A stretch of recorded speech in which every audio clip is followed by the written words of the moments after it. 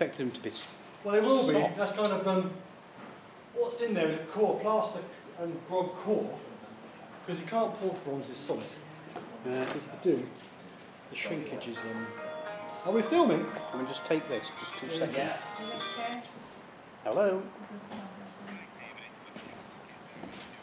I'm okay. Right.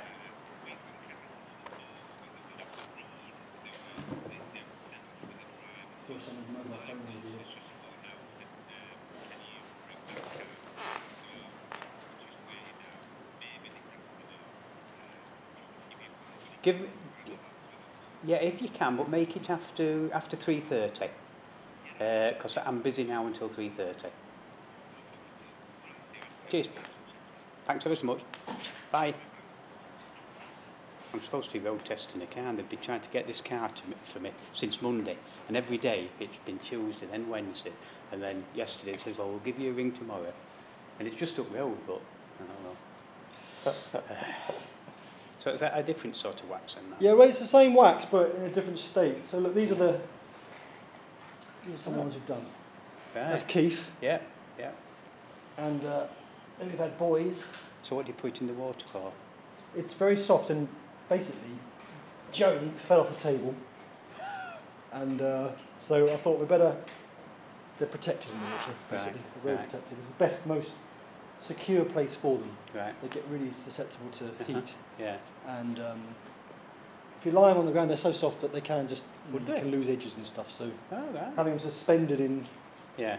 in water is the best way. Yeah. Yeah. yeah. So these kind of baked potatoes are basically cores, which are plaster and grog, Yeah. which is a kind of a fired ceramic powder, which makes them refractory, heat Mhm. resistant. Basically, um, I make little snowballs and I Yeah. dip them in Is wax. that all solid then? The Yeah, it's, no, there's yeah, it's got Yeah. core in it. It's Yeah. plaster core, Yeah. and then I dip the cores in in wax. I get these wax skins, Right. and that's what we've got here. Yeah. And that is a harder wax, only because the, pl- the wax company sent me a um, different type of wax, which was much much softer. And I was thinking, no, because when I do my figures, my little figures, my little, what they call maquettes, they're often standing on two legs or something, and if you stick them on a shelf in the corner, they just go fall to the floor, especially in summer. Yeah. So when you make, when you order waxes, you get summer waxes, winter waxes. Right. So a winter wax would be a softer wax Yeah. because it's hot, Yeah, cold and you want to yeah, get it malleable. Yeah. And wax would be harder. And this is soft, so I think this is a, a winter wax. When I was worried, I thought, oh no, it's going to be far too soft. Mhm. You do like a bit of resistance. Yeah, So it's not this. like a candle wax then? No, it's, a, it's microcrystalline, which is like a kind of petroleum. Mhm. And um, it used to be beeswax. Oh, right. Yeah. Mhm. Paraffin wax is candle wax, and that's very um, flaky. Yeah. If you did this, it, well, you wouldn't do this. But if you did, it just shaves off and crumbles, and Yeah. is very unsatisfactory. Mhm. So you have to have mixers. And when when I first went to do my kind of training, you actually had to make your own recipes. So you had um, earth waxes, paraffin waxes. Yeah. So that was um, just trial and error. Yeah, and then you mix them up Yeah. to get what you call slush waxes, which are the waxes you pour into the moulds Mhm. to make the sculptures in the in the, in the first place. Right. Yeah, so they are, and they, those recipes will date back, you know, 500 years, you know. Yeah. Yeah, we have rosins, rosins, which is resinous, resinous wax, and we used to have to, I don't even know what they are, runners and risers are these pouring channels you, you get the um, bronze to the moulds with, so you have channels on these Yeah. leading to a cup, and the cup, they go in a kiln, and this all melts out, leaving a space which is Yeah. negative. And then you pour bronze into that channel, and it fills this up. But those channels are called uh, runners and risers. One lets the Oh. air in, and one lets the lets the bronze in, and one lets the air out. It's like Right. plumbing. Yeah. And um, this rosin was something we, we have moulds now where we pour this wax into, we get these tubes, and we just carry on. But when we first started, it was you had to do it the really old way, which is to make this rosin, which is like a putty, a bit of Mhm. resinous putty. You have to roll them out like sausages, and you spent the whole morning rolling out these incredible, Is that softened long, thin. the time? Yeah, Yeah. And then they were like brittle, hard, and you could just snap them and just work with them, and they were Right. amazing. Yeah. But you know, all these things have Don't happen anymore. Yeah. Times change, Yeah. as yeah. you're well aware, Yeah, too right. which is why we're here. yeah. Yeah. Change, yeah. so look, you're, uh, your, your story is you were obviously a miner hmm at some point. Yep. Had you had a multivarious career or? Yeah, I, w- I mean, me, me, when I left school, I started as a, uh, I served my apprenticeship as a motor mechanic. So, uh, took my City and Guilds as a motor mechanic and but, uh, we moved, we lived in Retford in Nottinghamshire. All right. Uh, and my mother wanted to move to Doncaster, so I ended up packing in at the garage and coming to Doncaster, and we lived just literally 200 yards over there. Really? yeah, and uh, The house still there? yeah, yeah, and the uh, I just wanted to earn money, Yeah. and at that time, cheers Dan. Uh, at that time, uh, mining was a bit better money than being a What time, mechanic. what time is this? 71 I went down. I started, I was 19, I went down a bit. I was earning roughly about mm, maybe five pounds, six pound a week at the garage, and I think after I'd completed my training, I was on about 20 odd pound a week, something like that, 25 pound a week. So it was a big increase in your wages, God. just from Inf- well, three or four times. yeah, yeah, straight away. And was that, a f- a I mean, at the time, was that like a known kind of, that was a It was main attraction? It, was a yeah, I think so. Everyone yeah. goes, if you can get, if you can get Yeah. down underground, Yeah. you, you're making money You, now. you some money. And mine, when I first went down, I mean, I just went down as a, as a basic uh, labourer, for want of a better Yeah. word, uh, which is one of the easy jobs, which is just pushing buttons. Uh, and I did that for so long with the view that I want to earn more money. Mm. and then I found out that you could earn more money by uh, carrying the girders down to the coal face, which was big, big heavy stuff. You know, you had to, for, for building the Yeah, rings. RSJ you're talking about, eh? yeah, yeah. So you'd carry them on your I mean, shoulders. heavy, heavy. What, Mm. six foot lengths? Yeah, be six foot curved, and then the, the curved piece on top, and all the materials And down what are they there. called? These are the arches that you Yeah, walk through. yeah. what are they called? girder, they're just rings. Rings. Yeah, Because someone at Stainforth Club yeah, got me, pulled me to the side and got me to the bar and said, this is what you want to make. yeah, You want to make, is it a ring erector? A Yeah. bloke that puts the rings up? Yeah. And he drew me yeah. the sculpture of a guy holding up the rings. it's, And so and you, that are- you are that guy. Well, I used to do the getting the materials to them. Right. So there was used to be three of us, but that was even more money than the, the basic Really? job. Yeah. Right, okay. So, so getting it to them, but it was donkey work. Like it was hard work. Right. Uh, but I don't know how it came about. But the, I must have been talking at some point, or other, and they knew I was a like a qualified fitter mechanic. Yeah. So the head fitter came and approached me one day and he said, uh, will you come and work on my team? And straight away I said, well, what's money like?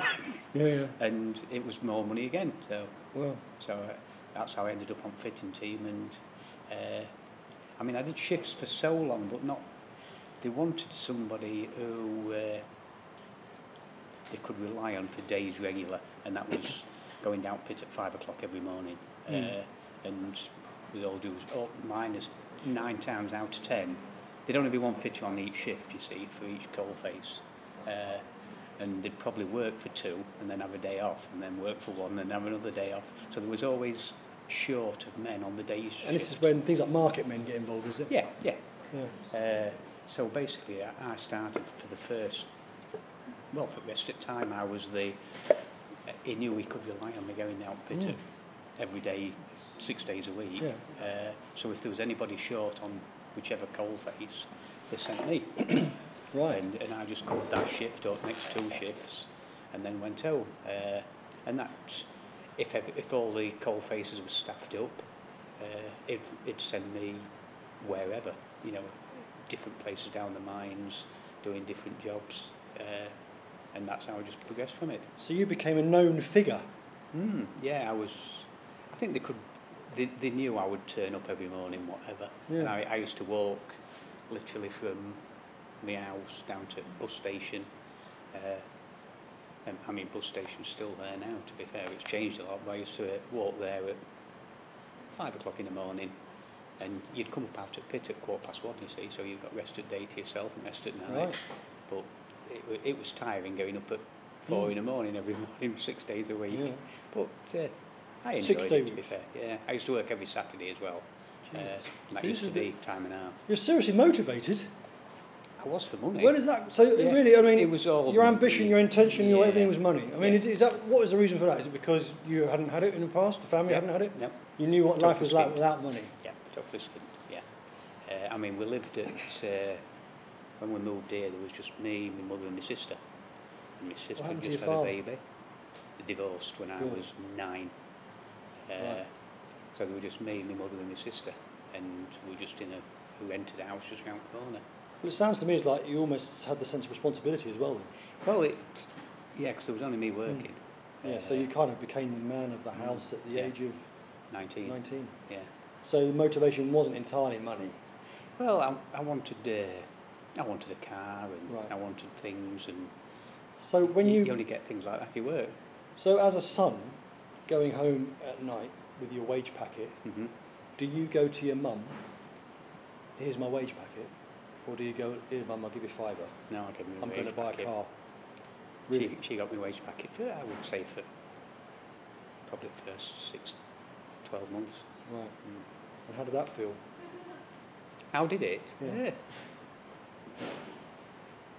Well, I didn't really know anybody. I didn't know anybody in Doncaster full stop, so I weren't into going out. It Right. didn't bother me. And uh, I just looked at it as it's a roof over my head and it's Forward feeding us and, yeah, you know, and things will progress, you know, if you work out. Yeah, yeah. Uh, I mean, I was telling Danny one particular story, because when I first went out mines, I, I knew, because we'd only just moved to, to Doncaster, I Mm. didn't know anybody, nobody knew me, Mm. and whenever they saw me on pit top, they didn't recognise me, because I used to have long hair. But whenever I was out pit, you used to have to wear an hairnet, and I used to Oh, stick all mine in my helmet, so they never ever recognised me. So you're a bit of a glam rocker. Yeah, just a bit, yeah. and uh, at, at I'm building a nice picture here. at Brodsworth Pit, there was uh, it was a big, really big car park. So you'd come up out of the pit on on your on the Friday, whatever ship you was on, and you'd take your lamp check. You'd go up to wages window, and they'd give you your, your wages. And then I'd make my way over to car park, catch bus home. We'll walk around you. And uh, and this particular Friday, uh, picked my wages up, I had a quick look at them, and walked across car park. It was dark, uh, and there's hundreds of people walking across this car park. So at its peak, I think there were about 2,000 miners that worked at. Brodsworth. Yeah, and uh, I got to the bus stop, and there'd be 100, 200 people all there were queuing for buses as they were coming in, and they, uh, as bus came in, I went to get my money out there, and I'd lost my wages, Oh, uh, Gosh. and I just couldn't believe it. I mean, it's just nothing in my pocket. Well, I started panicking, uh, and I'd come out at queue, and walk back across car park, and it's it's it's dark, and there's loads of people crossing car park and what have you. And anyway, uh, I found my wage slip and my wage packet, but nothing in it, obviously.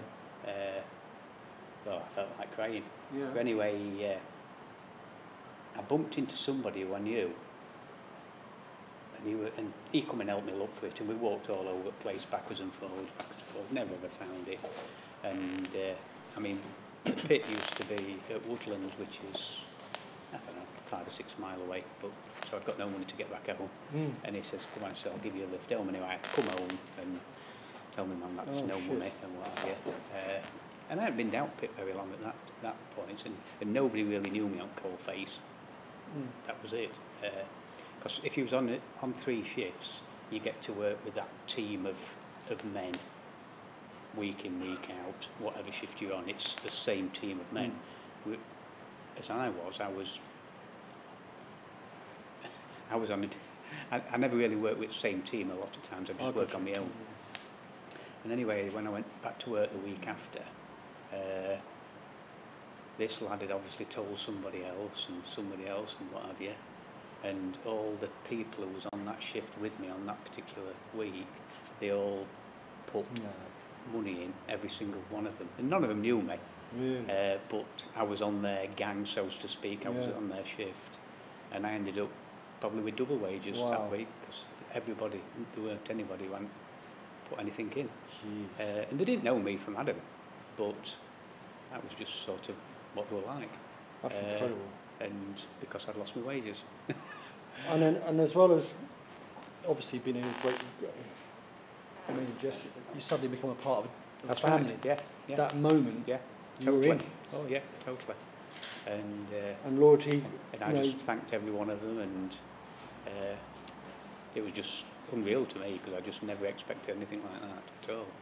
Uh, and I never ever forgot that. You know, it was just for somebody who you're not used to having that sort of thing done for them. It was it was just yeah, it was special. you remind me of when I was in um, on holiday in France and we went to the uh, Louvre Museum. Oh yeah. and we were in there and I had my money obviously I was in the shop we got out got into a taxi with a family all of the family got into a taxi and um, just about to start off and I just checked my, my wallet had gone I said, oh bugger so I said look taxi driver I'm really sorry the wallet's gone damn Yeah. damn damn I've got a family I've got to get the other side of Paris no money no Yeah. cars nothing sugar and uh, the guy said well, I said look can I just run into the Louvre which was closing Yeah. so I uh, ran to the, the big glass pyramid Right. knocked on the door of a like like an alien thing, like knocked on this pyramid, and there was a cleaner in the bottom. Going, what do you want? Yeah, bugger off, you know. I said, no, no, I need to get in. So in the end, after about half an hour, he let me in. I said, my wallet's gone, my wallet's gone. I, need, I really need to find that. Can I go to the shop and see if I left it at the till? Yeah. It's not there, it's not there, it's not there. So then they had to call security, and it went on and on and on for an hour. And then the top guy of security eventually came down because I would not move. My kids and family were in a taxi outside. and uh, I think, what the hell am I going to do? So um, basically, guy comes down, we look around, no wallet. And uh, I just, you know, beside myself. Yeah. The cleaner, once the guy's gone, he says, you better go now. I says, yeah, I suppose so. And the cleaner goes, um, how are you going to get home? I said, I have no idea. Yeah. He got his money out, got his wallet out, and he gave me um, 30 euros. Huh? I said, no, don't do that, don't Yeah. do don't, Yeah. don't. He goes, no, you have my money. I said, no, I can't, Yeah. I can't, I can't. He goes, have my money. I said, no, no. He said, look, when I was in Saudi or something, he was a French, but he was Yeah. making it up. An Englishman got me out of a big load of trouble in the desert. Mhm. And I've always said that I will, whenever I see someone in trouble, I will repay it. Yeah. And he says, here's the money. It's not because of you, it's because of what happened to me. Um, and I went, oh, God. Incredible. Oh, Jesus. So I, thank you. Emotional. Got, yeah, got into the taxi and we went off to northern Paris. And this guy in the taxi had been waiting for us for all night, lost all his fares. About 10 o'clock at night, we got eventually got there and I said, thank you so much. Here's the money. This guy gave me the money and it's just brilliant. I don't know how much it is, but please Yeah. take it. He says, I don't want your money. Said, no, no, no, no, no, no, this is not how it works. He goes, no, no, no, you go home. I said, no, please. Right. You know, I can't handle this generosity, you know. And he wouldn't let it take me money. So I had this guy's money. So you got and I and a home- free ride yeah, as well. What am I going to do? so now the, law, the law is now, this is an opportunity. Every time I have an opportunity, I tell someone the story. Yeah. And if I'm lucky enough or unlucky enough to come across someone who is asking, Mhm. I, I make sure I tell them this story Yeah. and then I give them the money. Yeah. And it kind of, just like your story, Yeah, that's right, it kind of yeah. carries on Yeah. Yeah. in a strange way. Yeah. Yeah. Yeah. Yeah. so then you were working, that's almost freelance underneath. Yeah, it's like on the on each coal face they'd only have for each shift there'd only be one fitter. Uh, And a fitter is basically an engineer. Are you just making sure nothing's going wrong with the yeah, conveyors? if uh, the if the machine breaks down, you're under pressure to get it fixed quick because Yeah. they don't like it. Yeah. They're not making money if it's not cutting. Yeah. So it's basically uh, uh, while ever it's working, you might not be doing anything, Right. uh, or you could be doing something else what they've already been allotted to do. Uh, so the duration of the shift, you could be working somewhere else. If it breaks down, you have to get to it pretty quick. And you, you might be a mile, mile and a half, two mile away, and you Mm. get out there quick and, and get it moving again. And uh, but you do work on your own. If there's any heavy work and you needed somebody like a labour to do some heavy lifting or whatever, you'd, you'd commandeer or whatever. But yeah, you're pretty much on your own. So do you have a place you're sitting in? I mean, are you waiting in an office type thing or a Oh, boo- God, booth, no. or are you, what, what are you doing? You just sort of biding your time, Sat on lumps of coal, maybe. literally, literally just You'd- sitting you'd- there, Well, you'd be, you'd be work, making yourself useful. they'd have something for you to do without any doubt, because as each shift started, there'd be a, the, the deputy or the foreman, for want of a better word, who would, well, can you do this, or can you tighten this up, or can you do it? it they'd be finding Yeah. jobs for you. Uh, Maintenance work. uh, so just keeping things ticking over and to make sure, hopefully, it doesn't break down. Yeah, So you're always busy. Yeah. always busy. But most of your work would be done in the 20 minute break when they stop for the Right. a snap. Yeah, yeah. Uh, and then if there was any sort of serious maintenance work, you'd have 20 minutes to get it done while, while they're not cutting Mm. uh, and go on with it. Well, that's why we used to work nearly every Saturday because it was sort of maintenance and things like that where they Mm. didn't, didn't tend to cut coal on at a weekend. You could get down there and do what you needed to do. I can remember one, uh, I was telling Danny about it, there was, I'd been, I'd been working down there a while and they sent, they wanted me to go down to another seam, another coal face further down and about half a mile down. But it was a low coal face, very low. So Uh, about, deep. about height of these chairs. Oh, he's in the face. Right, Yeah. Bloody hell. Really? Yeah, yeah, about that. Uh, so it's 200 yards long. That's because there's not enough coal above it. It's just the, the depth of the coal Yeah, seam. right, You know, uh, there was like Barnsley seam used could be about five or six foot high Yeah. of a stream Yeah. ream of coal. Uh, the Dunstall and Thorncliffe seam could only be maybe that high. Jesus Christ. Uh, and I took this apprentice down and got this apprentice for a day and it was about five mile out, four or five mile out, and then you had to hike another mile to Coalface. Jeez. And this coalface was sealed off in so much as that nobody was working on that. They just wanted, uh, they needed bits of equipment off it, which is a bit more valuable. So they'd send me down, I'd dismantle it all, unbolt this, unbolt that, take all hydraulics off and leave it there and then next shifts two or three men would go down and, and take out what I've unbolted Mm. and dismantled. Uh, but this coal face is like 200 yards long uh, and you laid on your belly Wow. the so you had to crawl along the coal face and you had to move your gas mask to one side and your battery to the Mm. other and just drag your tool bag along it from one and just dis- dismantling different things as we were going along but all the time the weight's coming on you know the roof's caving in round you you you're, in, you're under the chair sort of thing but it's caving in at the back of you so it's, it's loud What? it's, it gets loud So you've gone in, hey, let's just go back a little step here. You've gone into a lonely tunnel, basically by yourself, which is disused, no, I've got an apprentice with me and you've got a, got a little boy with you. and you're away from the teams because they're in Yeah, another yeah. district. So there's an incredible sense of loneliness, I suppose, in a Mm. sense, so it's quiet an from incredible sense of impending kind of danger and doom. And you're walking into a. How deep is this? You're, you're laid on it. You You- said about the chair, didn't you? yeah, You it's, referenced you'd, you'd lut- literally, height of that chair, you'd be, you'd be laid and you'd pull yourself along with your battery and your, in your tool bag, 200 yards. Uh, and that the pe- where at the back of the chair, that's what caves in behind you. Whenever, Oh, whenever give the- me a break. whenever no, no, no. You're joking. It's like a living tomb. It's dark. Yeah, it's dark. But you, it's, it's just what you're used to. You, you just get on with it. But while, you, while you're under there, you're, you're safe. As long as... Well, what's all this breaking down, collapsing business then? Where's all that? Well, as the coal the, face... the back of the coal face. Yeah, as, you move, as the coal face is moving, as, you're, as that's going forward and the 200, a lot of these supports, Oh. what you're in, Yeah. as that moves forward, everything behind, call it gob, In the gob. that just caves in. So, uh, That just okay, so say the chair's a tunnel, the back of the chair's the gob. Yep, So there's a big cave behind you, and Yeah. as you're walking along, crawling you've got a wall on your right hand side, which is the face. You're going Yeah. out crawling, crawling along on your belly. Yeah, That side of the face is going crack, crack, fall, Yeah. full, and it's down over there, 100 yards ahead of you, 100 yards behind. You hear, yep, and then you carry on, and you go, yep, and you go, where's the, yep. Is it That's it? And then you carry on, and it's like nothing. Yeah, So there's an incredible kind of nervous tension, but you're used to it, so you're not. Yeah. So you just get on, yeah. But there are are there any props under this thing? Is there any reason why the gob should collapse and not the coal face that you're in?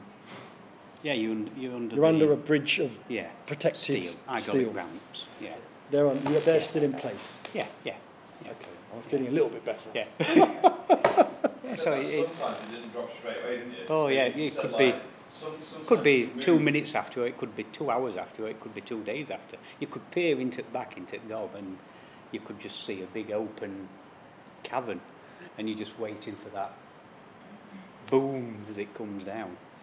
Uh, And then the dust yeah, oh yeah, and the pressure of air, I presume, yeah. coming It's into loud. wafting you. Is it Yeah. hot air? Yeah. Cold air? Yeah. So it's, like a warm. It's hot on coal face. Mm. Right. So it was like- where we were, but some like the drift mine where Keith worked. it Keith, uh, he was it was cold down his mine, but I And just what, what's the reasons for different temperatures and why why would you be hot and he be cold? his was a drift mine, so you, he What's walked into mine? it Uh, like egress. So you're talking about egress, wasn't he? he Yeah, he that's- walked up the eg- egress. Yeah, uh, you, you're walking down to it like with a coal mine, you know, a, a, a deep shaft mine. The reason you'll have two uh, two shafts. The top of the one which is like sealed is like a big fan, and it'll pull all the air, all the stale Right. air, round the mines, and there'll be different air doors and what have you, so it keeps that air circulating all the time. If that fan ever breaks down, you So- won't be able to breathe. It's a bit like my runner and riser system in the Yeah, mould. yeah, So exactly. got runners going in, Yeah. air coming out, exactly the and I same. push bronze in. Whatever. Yeah, You, someone has designed, obviously designed, Yeah. this ventilation system, Yeah. which is uh, and it goes designed round with a- miles and miles of And a massive fan at Yeah. one point will be pushing air in. put, it's dragging it up, so it's dragging it down the open, Oh, okay. open shaft and expelling it out of the closed shaft. And in different places to keep that air regulating, they'll have what they call air doors. And when you open them, you could feel the air, your ears would pop when you open them, it's like going up in a plane. So Yeah. could you cause damage to the mine or to yourself if you were not qualified and understood the opening and closing of doors? Oh yeah, you've got to make sure that you close the doors, without a doubt, yeah. Right. Uh, some of the air doors was propped open maybe with a piece of wood, maybe two inches, six inches, eight inches, and that was all done to regulate the airflow into different parts of the pit. So was there specific characters um, charged with controlling air? No, no, There was no one No. whose job was to make sure air No. was flowing? no, no, you were just down to Common just down sense? to you, yeah, yeah. That, if, that door, if that door was closed, you'd make sure you close it afterwards, after you've gone through Okay, I it. got you. Uh, and if it was half open, you'd leave it that way. Right. But a lot of them, that some of the doors, if you got to it and it was fully closed, no matter how strong you are, you wouldn't be able to open Really? it. It is that stiff. So there'd be like a sliding door on it, which like sliding window, Mm. and it just like a rabbit hutch, and you just open that. It'll allow a bit of the pressure off, and you can then pull the door Wow. open, close that, and then back in again. Be extraordinary. I mean, do you, I mean, did you ever get kind of um, reflective over the fact that the power of air moving through Oh, this? yeah, Do you ever yeah. think about the fact It's- that this is almost like a life force? It's keeping you alive. Yeah. It, the, the force of it is you can't describe on that. But the if you was at bottom of the shaft where they're drawing the air in, and for the first mile or so, it's cold because obviously it's the Oh. cold air what's coming down. Yeah. But if you was at the other end of the spectrum, the bottom of the out, you know, the shaft where it's drawing it up, it's it's all the stale warm air, and that's where it's hot. Wow. Uh, so it, it- depending where you are in the mines, you could be working in an hot place or a cold place. Jeez.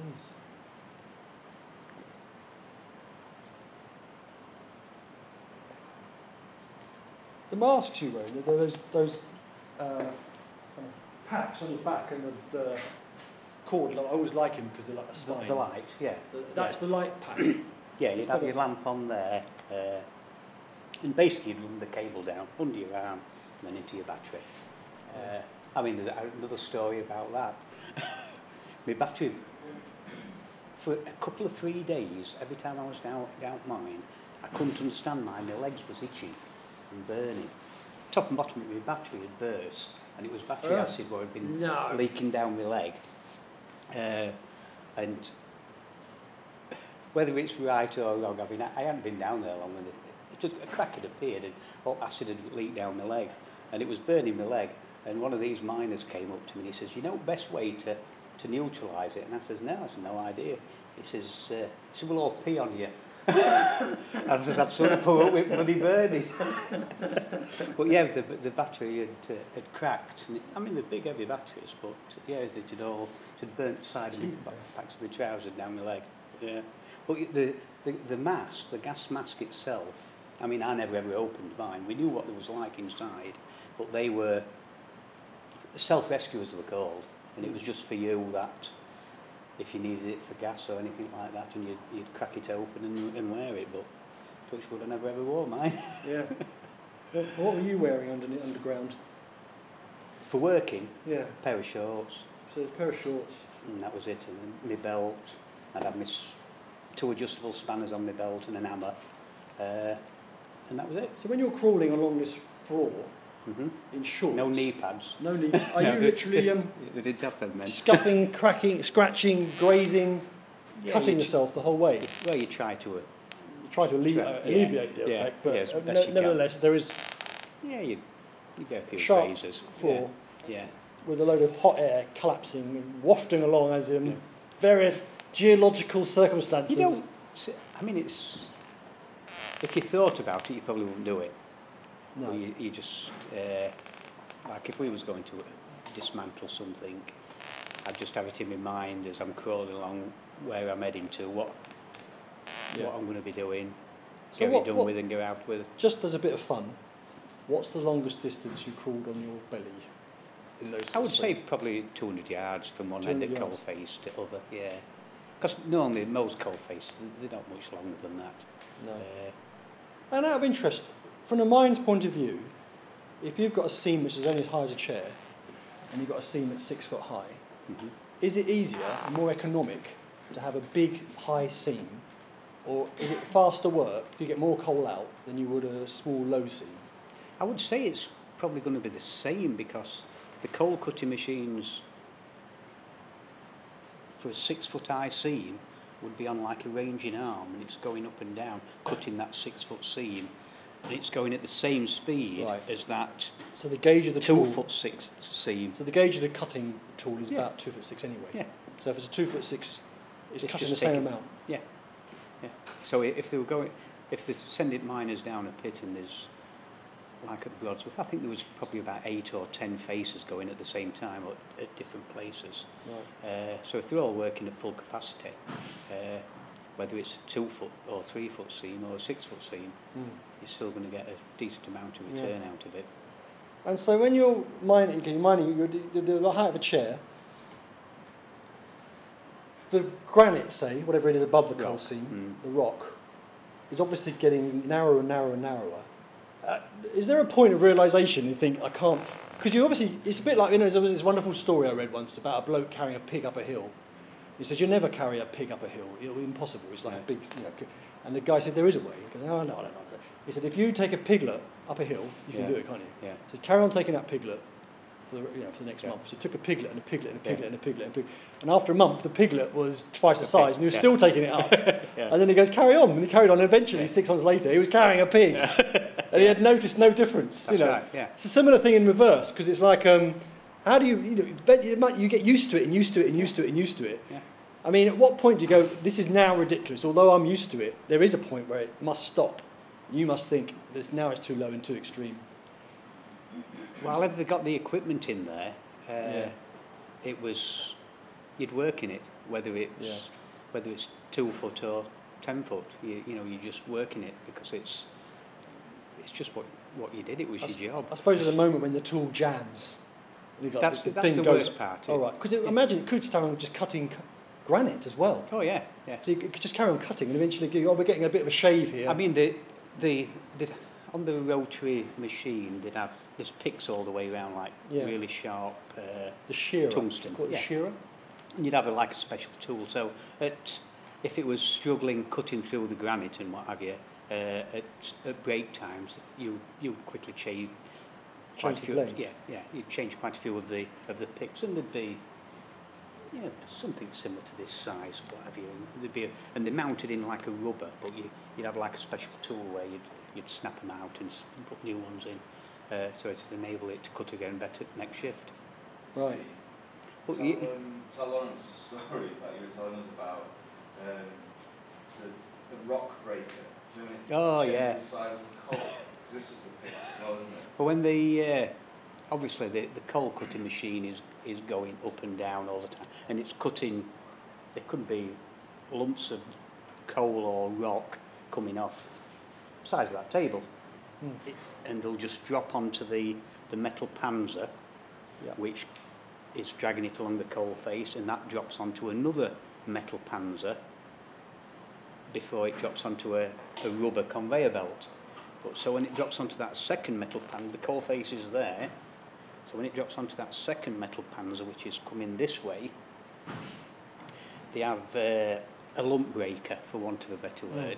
But this lump breaker is in a, a metal tunnel. A stone crusher. Yeah, but it's, it's like a rotating rotisserie. That's, Yeah, okay. but on this rotisserie, there's like pickaxe blades, and they're probably about a foot long, but there'll be about 30 of them on this rotating. It's about this wide, and it's rotating. Just steadily going round, so as all the rocks and the coal falls onto this metal panzer, it's just hitting this lump breaker all the time, Mm. which it breaks it up into a manageable amount, so it falls onto the Very noisy, very noisy. very dusty. Yeah, and it's in a it's in a tunnel Right. about this high. But the bottom of the pick, or the picks, to the top of the conveyor belt is probably about that. So there's not much going to get through Yeah. without it being broke up. Uh, and the times where that's when it's nerve wracking because you, you would have to crawl down that tunnel to fix it. Right. Uh, but you'd have your own padlock, which you would snap onto the, the, the power for that particular rotating. Uh, you'd snap the padlock on. There's only you got the key, and you'd then crawl along this tunnel. With there's no ending to it because all you can see is these blades just sticking down, which is for the lump breaker. So if you've got to go and change those picks, you you crawl along there and they'll just wind you up because they'll be tapping on saying, power on now, power on. Jesus. You have to do it during snap time as well, so Oh, no restriction. and you'd have to do it in that in the break time when that 20 minute break so you, you'd be you'd be working fast to try and get in there and do it and so you've probably got to crawl maybe maybe 10 15 yards to this lump breaker with and it's pitch black because it's it's Oh, all enclosed but you've got your light on and then they just wind you up by saying they're turning power on uh, yeah it's but you, you knew it was locked but even then you, You your just- imagination element of had- doubt. You've got the key and everything on Yeah. this padlock. So all the fitters and all the electricians would all have their own padlock and key. So if you ever needed to isolate something, you isolated it. There's only you got the key, so nobody else could go in and they could, they could cut lock off, but obviously not going to do. Yeah. But yeah.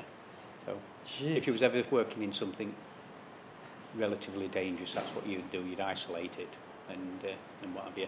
But yeah. God. Yeah. You seem very, um, I suppose, sanguine about it, very philosophical about it. It's, um, you obviously got a degree of pleasure out of that kind of extreme Mm. Uh, experience. Well, I think you didn't really know any different, to No. be fair. It's just that uh, you just got on with it, uh, and it's it was just normal. It was just it was just normal. Right. Uh, How many years then did you actually? six. Six years. Six years, yeah. And Uh, so, and then what happened? What did you do? I wanted to go out. I just didn't want to be coughing cold and stuff for the rest of my life. Yeah. For want of a better word, it used to be a pleasure coming up and uh, breathing fresh air. Right. And I, I think that was the, the thing. And I used to see that many how to, how to say, it, people who were, had been 30 years, 40 years down the mines and, and they're coughing and they hunched over and Really. really suffering with their health. And I thought there's got to be more to to work in, in life than swallowing coal dust all shift. Yeah. Uh, so I just made a, a concerted effort to try and get out, and I was just applying for jobs because I wouldn't just pack in and I wanted a job before I, I left, and I'd just keep applying for jobs till I got I got chance of one and, and just came out and got out while I could. Mm. Uh, and was it um, to be a part of that gang, that brotherhood, and those guys knowing you wanted to leave, they never knew. they never knew. Never knew. I never ever told them. If they did, how would that have been? I think I think majority of them uh, uh, would have. and I think they'd have understood and said, "Good for you." Because I remember when I first went down there, the number of people that were saying, "You know, you don't don't be coming down here. You don't want to be. It's not a life for young people. This that, and the other. You know." Right. Uh, I think they, they would sooner. I know when I went on my. Uh, you have a month's training down the mines. Yeah. It was at Armthorpe. I did mine just up the road. And I remember the, fir- the first time I went onto a coal face. So this instructor is taking you along a working coal face, and there's like 10 or 15 new starters. And I can remember the number of miners that were saying, uh, you must be crackers coming down here, this, Yeah. that, and the other. Yeah. And, I mean, I only went down for money, and that was Yeah, it. You know, it was a means to an end. Uh, and just got out when I could. Yeah. I think if if truth be known, I mean, I never ever, there was only one person knew, and that's one of the lads who I used to work with, to the day I came out of it. I never told anybody that, that, that was my last shift. Nobody Right. knew. Uh, and I just breathed a big sigh of relief when I came Yeah. up the last Yeah. time. No sense of like, I'm away from the mates and away from the gang and away from. I didn't really know many, I didn't, not as friends. Right. So despite As this, work colleagues, uh, yeah. despite the whip round and all the kind of yeah. the gestures and the and the, I thought of my health more than anything, and I just wonder if there's a not not that you, to stop you making the decision, but a pang give you gave you a pang. Oh pang. yeah, I mean uh, it's. I don't think you'd ever get work colleagues as I'm saying you wouldn't, as close and as loyal as that. But uh, I think you. But I ju- health health is important. Yeah, uh, it was. Yeah, I mean as, as you could be off for two weeks holiday. And at the end of two weeks holiday, if you were blowing your nose or coughing, you'd be still coughing cold and stuff Mm. after after two weeks not being down there. Mm. Uh, and I mean, the, the, the people I worked with when I first went down there, and they'd, they'd got pneumoconiosis, which is like dust disease and things I like met that. I met someone on one of the talks we had it. Yeah, Oh, it's horrendous, horrendous. Uh, and I mean, at that time, you never had, never had dust masks, or No. I never had a dust mask or ear mufflers or anything like that. You just, they Yeah. came out later. I mean, do you have things like tinnitus now? And I've, I've just, well, I'm saying just last year, I just got paid out for industrial deafness. have you? Mm, yeah. No hearing aids in, No. but... Uh, You can hear me. Yeah, oh yeah, I can hear. I, I, I didn't even know I'd... My wife had complained. So. but I used to... Uh, I came off... I was mountain biking, it's been about three years ago now, uh, and I, I, I came off in a big way and, and broke my collarbone and Oh really? I hit this tree. And I ended up, I, I got, kept going, every time I sat up, I kept getting dizzy spells, so I ended up going to hospital. And they diagnosed this, I can't remember what it's called now.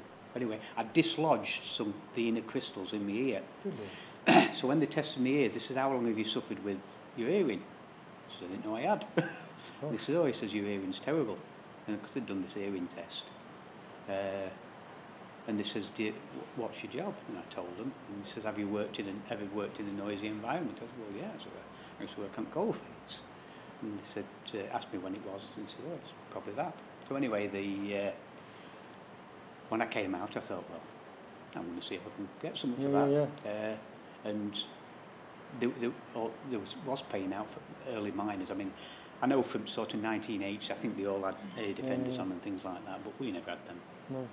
Uh, so yeah, but they didn't get, I didn't get much like, but it was worthwhile Yeah, yeah, pursuing yeah. it. Yeah, yeah. Uh, Plus, you know, you suffered, genuinely suffered. well, yeah, yeah, and I'm all right on a one-to-one, but if there was background noise and somebody were talking to me from behind and there was noise up front, I'd struggle. Mm. But in a quiet room, I, I don't have any No. problem. Yeah, So you can hear me all right. yeah, yeah, yeah. I struggled the other night when there was, there was Oh, we yeah. were talking to a lady at front, and I couldn't hear her. Or I could hear Yeah. you, but I couldn't hear her. But I could hear you because I could see you. Yes, I see. Yeah, that's interesting, isn't it? And uh, but she'd go back to me, so I couldn't Yeah. hear her. And my son was telling me what, what she was saying. But yeah, I mean, I uh, I enjoyed the time down there, but I was I was glad Hmm. to get out. Uh, and I mean, it, it, as it turned out, I think the pit I was down, I think it closed about three years. Right, so you were out Yeah, just uh, before the, yeah, before it. the I main demand for jobs. Yeah, yeah. Uh, So I what mean- did you go to? What did you do? Well, I, I, I, got a job initially, fitting, still fitting, building uh, 40 foot trailers, Arctic right, yeah. trailers. So Ifor Williams sort of thing, or no? Or It was it was York Trailers, the, the actual firm, big big 40 footers, and fitting uh, the big couplings on back of wagons and uh, Hmm. tractor trailer units. And while I was working there, I, I got a, I got offered a job in finance. Really? Mm. Finance? And uh, I've done that for the last No. 30 years. What do you mean? Go on. What, what, how did you move? So how do they detect your financial acumen? This, this guy, who I ended up talking to this particular time, he knew the girl I was going out with's family. And I used to see him regularly and what have you, and he, says, well, what do you want to do for the rest of your life? And at that time I was working at York Trailers, uh, building trailers. I said, I ain't got a clue. I said, I, I don't know. I said, "I- I've got no sort of dreams or ambitions. I, I said, if anything, I said, I don't want to be doing this. I said, but and he said, well, he says, why don't you come down and see me? And anyway, he offered me a position in his office, and I just progressed. Uh, so I ended up doing that for 30 years. Really? and ended up in like upper management, and yeah. So I retired last year. Right. Uh, and it, basically, that was a forced retirement because there was uh, they were doing restructuring in the company that I was working for. Been took over two or three times, mm. but I always kept my, my position. Uh, and then there was uh, they were doing a restructuring, uh, and I thought I'm just going to see what pensions I've got. Yeah. And I decided once I'd, I'd worked it out and whatever, you know, oh, stuff it, I'm going to pack in. So, yeah. so I, I just called it a day last year. Gosh. Uh, Never look back. Obviously, mountain biking. well, I, I'm into motorbikes. I've got a, an old classic bike that I ride. Uh, I, I mountain bike and I run every day, Good lord. Really? every single day. Yeah. Uh, if it's today I mountain bike, tomorrow I'll run, and I just seem to alternate uh, running or cycling every other day. So normally be half seven in the morning. I might either out running or mountain biking. Good lord.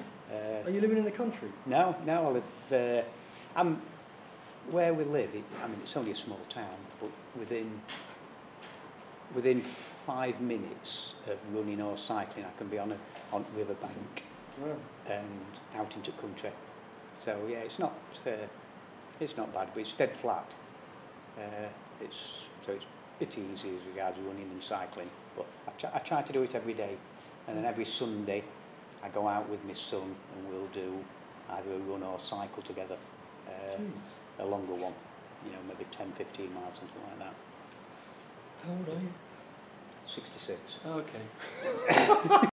We ran the Three Peaks. We were talking about doing the Three Peaks Challenge, so we're doing a fundraiser for our second years to take them to Berlin. I said, I'm aiming to do it under nine hours. He went, oh, you'll smash that. He says, I ran the Three Peaks. And what was your time, Steve? 420. 420. And it's Yeah. a marathon distance, Yeah. practically. Yeah, it's about 24 and a half mile into 20. 24 and a half mile over Yeah. three peaks. In Pen-y-ghent. Uh, It's North not- Yorkshire. It's North Yorkshire, it's Pen-y-ghent. uh, Ingleborough and Ingleborough. Whernside. Yeah, Or Pen-y-ghent, Whernside, Ingleborough. yeah. Ingleborough's flat one, isn't it, I think, is it? I'm just, Uh, one of them's just dead flat. Whernside's a gradual.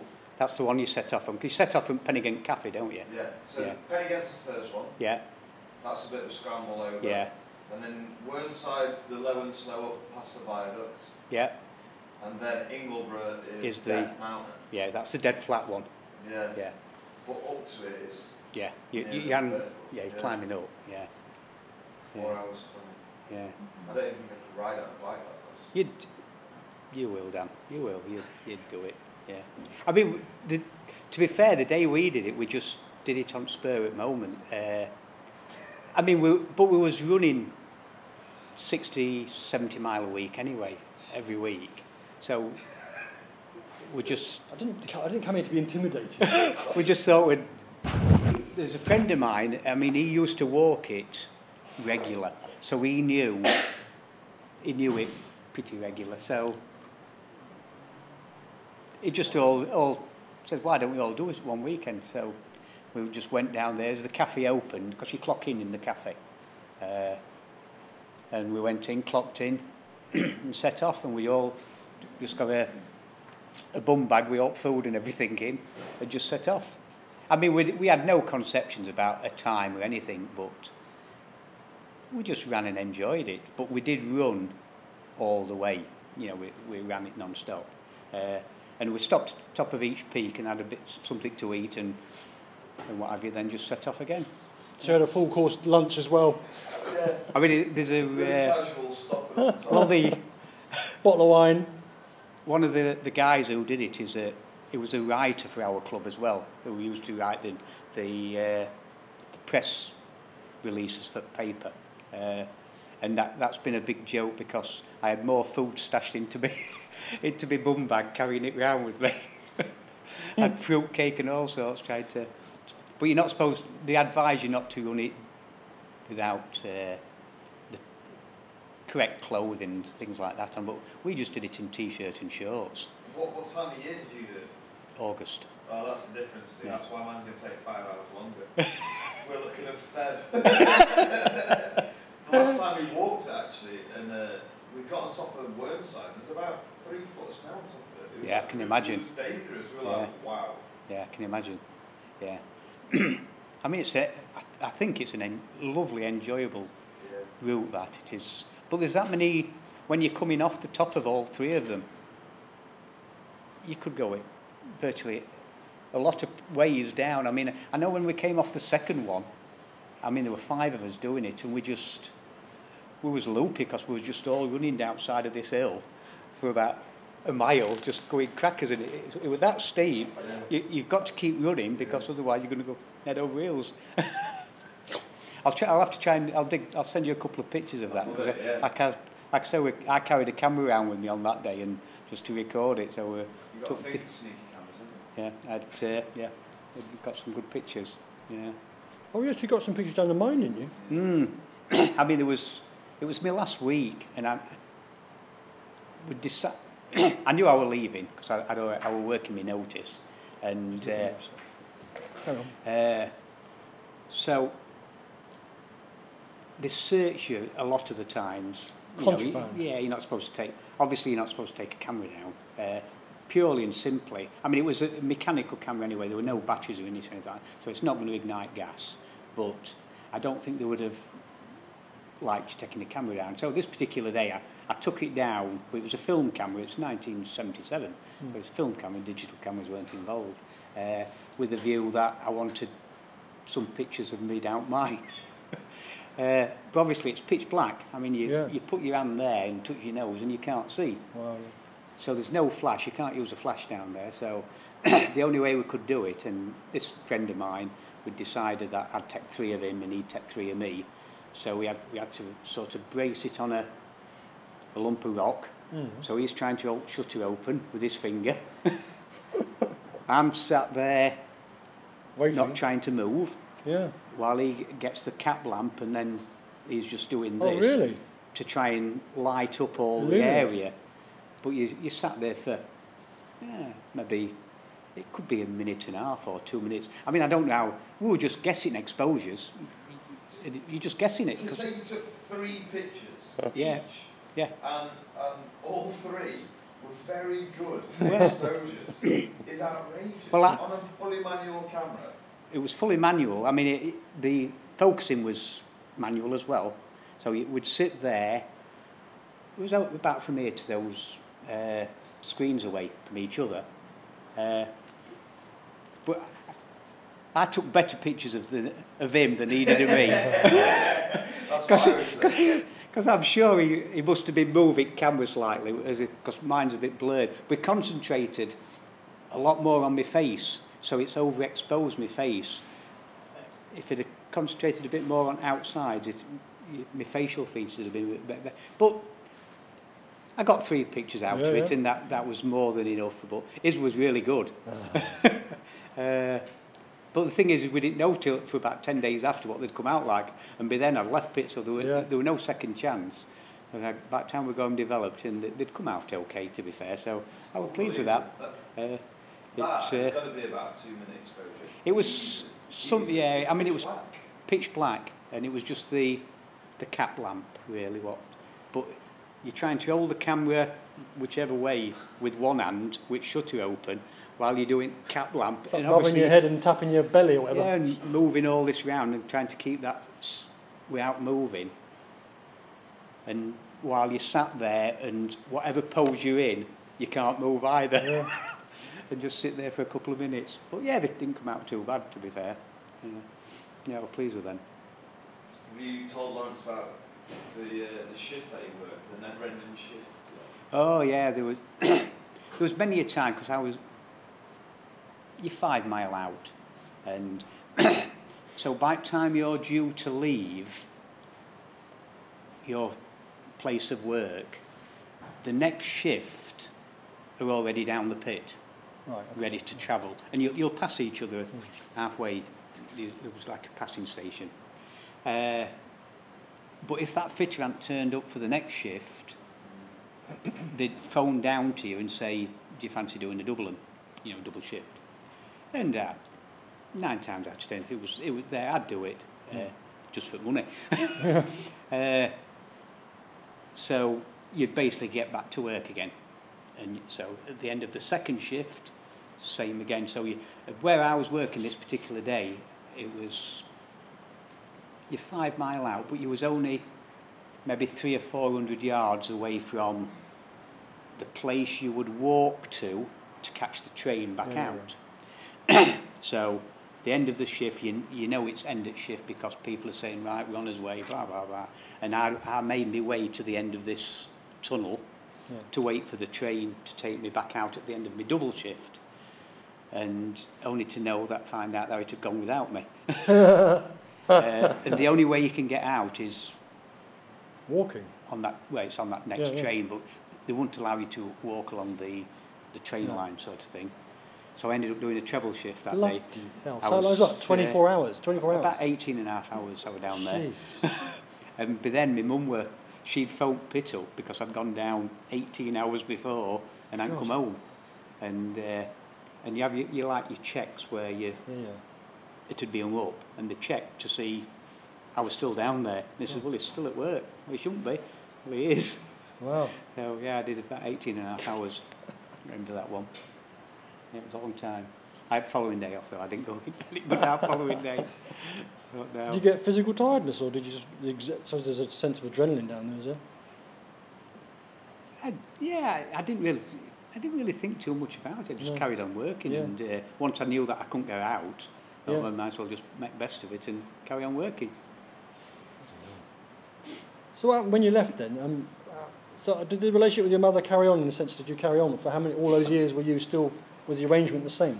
Oh, now w- once once I'd started earning decent money, I just used to pay a board, Right. yeah, and uh, my ways and bought my own car and what have you, and Mm. just progressed from that. So what was your mother's life like? I mean, in the sense of when you say, for example, you left and you got your other job, and you and was she on? How was she surviving? Benefits, just on benefits. She'd never worked for just uh, health problems, and Right. she'd never worked. I would say since I was 15. Right.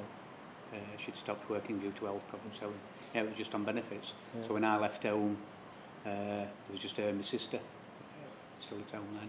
And what did your mother do before she was? Worked in an office at, uh, in Retford at uh, Rubber Works factory.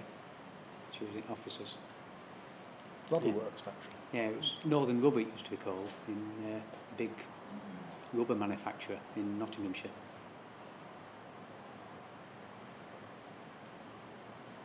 In fact, all my family worked there apart from me. they all they, they all ended up. That was the main in Retford. That was the main, the equivalent to the pits in Doncaster, I would say. It was the main uh, workplace in uh, in Retford. Who's we got a minute? One hour. Okay. Feeling a little bit. You've got a good head. Don't mind you saying. Yeah. I've just got to square it up a bit. Yeah. One of the things what used to be, uh, I'm not saying ever, I don't think you ever get used to it, was the, uh, was actually going down in the cage. That's, uh, Mm. I mean, ours was, a- was a big, it was a big cage, holds 140, 70 on each level. People. Yeah. So, and it's like a two-tier cage. Good. But uh, it was a big pit, it was a big mine. Yeah. But the, if you ever went down, if you was on the first drop, so to speak, after they'd been drawing coal, because while they're drawing coal, it's up and down as fast, as Really. really quick. if you got back onto the cage and you're the first one down, after they've been drawing coal and they just forget about it, you might drop 300 foot in space of about three seconds. Wow. and your stomach goes in your mouth. and then just put brakes on and steady it up a bit before you start going back, back down. But yeah, that used to make your stomach churn a bit. That's that story where if you used to annoy the controllers in the top, then they used to put it onto that mode and like literally give them, give them a bit of a shake. oh, they, they regularly used to do it. I mean, it, a lot of the old miners had, had just turned round and they'd walk, go back out at pit because they could claim. uh, I'm just trying to think of the right word. Not compensation, but he's dropped it too quick. I don't feel too good. Oh, really? Yeah. And Oh, well, duck his stomach type Yeah, thing. yeah. And just make out that they were uh, ill because he's dropped it too quick. And they, did you? You could tell it did used to drop Really. quick, yeah. You, as soon as they take them brakes off, it could be, you could maybe drop 30 or 40 foot, 100 foot in, in a second, you know, and then it'd, it'd probably realise and, and go back to your normal, your normal speed was still quick because they need to get you down there because while ever they're transporting men up and down, they're not making money. Yeah. So they need to get you down, get all the miners down there for that five minute slot, 10 minute slot, getting everybody down there, and then start drawing coal again. Uh, and then same end of a shift, you could be waiting for them to finish drawing coal before they'd let you back out. You know, it, you know, it, because while ever there was no men there, you would, Yeah, we're losing money, yeah, yeah. So it just keep drawing coal all the time. Another story, I mean, I, I never ever witnessed, well, I'm saying I didn't witness it, I, I witnessed the aftermath. Uh, there was a fitter who I, who I knew, he was working on the headgear, and it's, it's a, a big drum, probably six foot in diameter, and the steel rope is wrapped round it, round and round and round and down. And his job for that weekend, he was putting new brake shoes on because they have brake shoes in my car, exactly the same, but they work the opposite way and they clamp onto the drum. And it, it was having to fit new brake linings this particular weekend. I was working down out down pit at this particular time.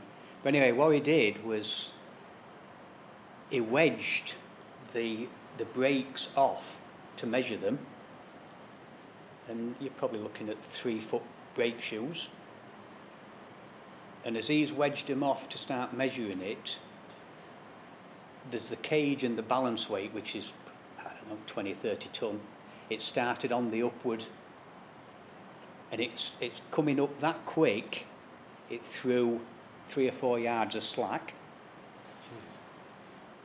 He got caught up in this three or four yards of slack as it tightened back up again. So there was nothing left of him. It, he just, thousand pieces. The cage came up that quick, it went through sort of two foot girders, cracked them completely open and ended up right at the top of the winding gear.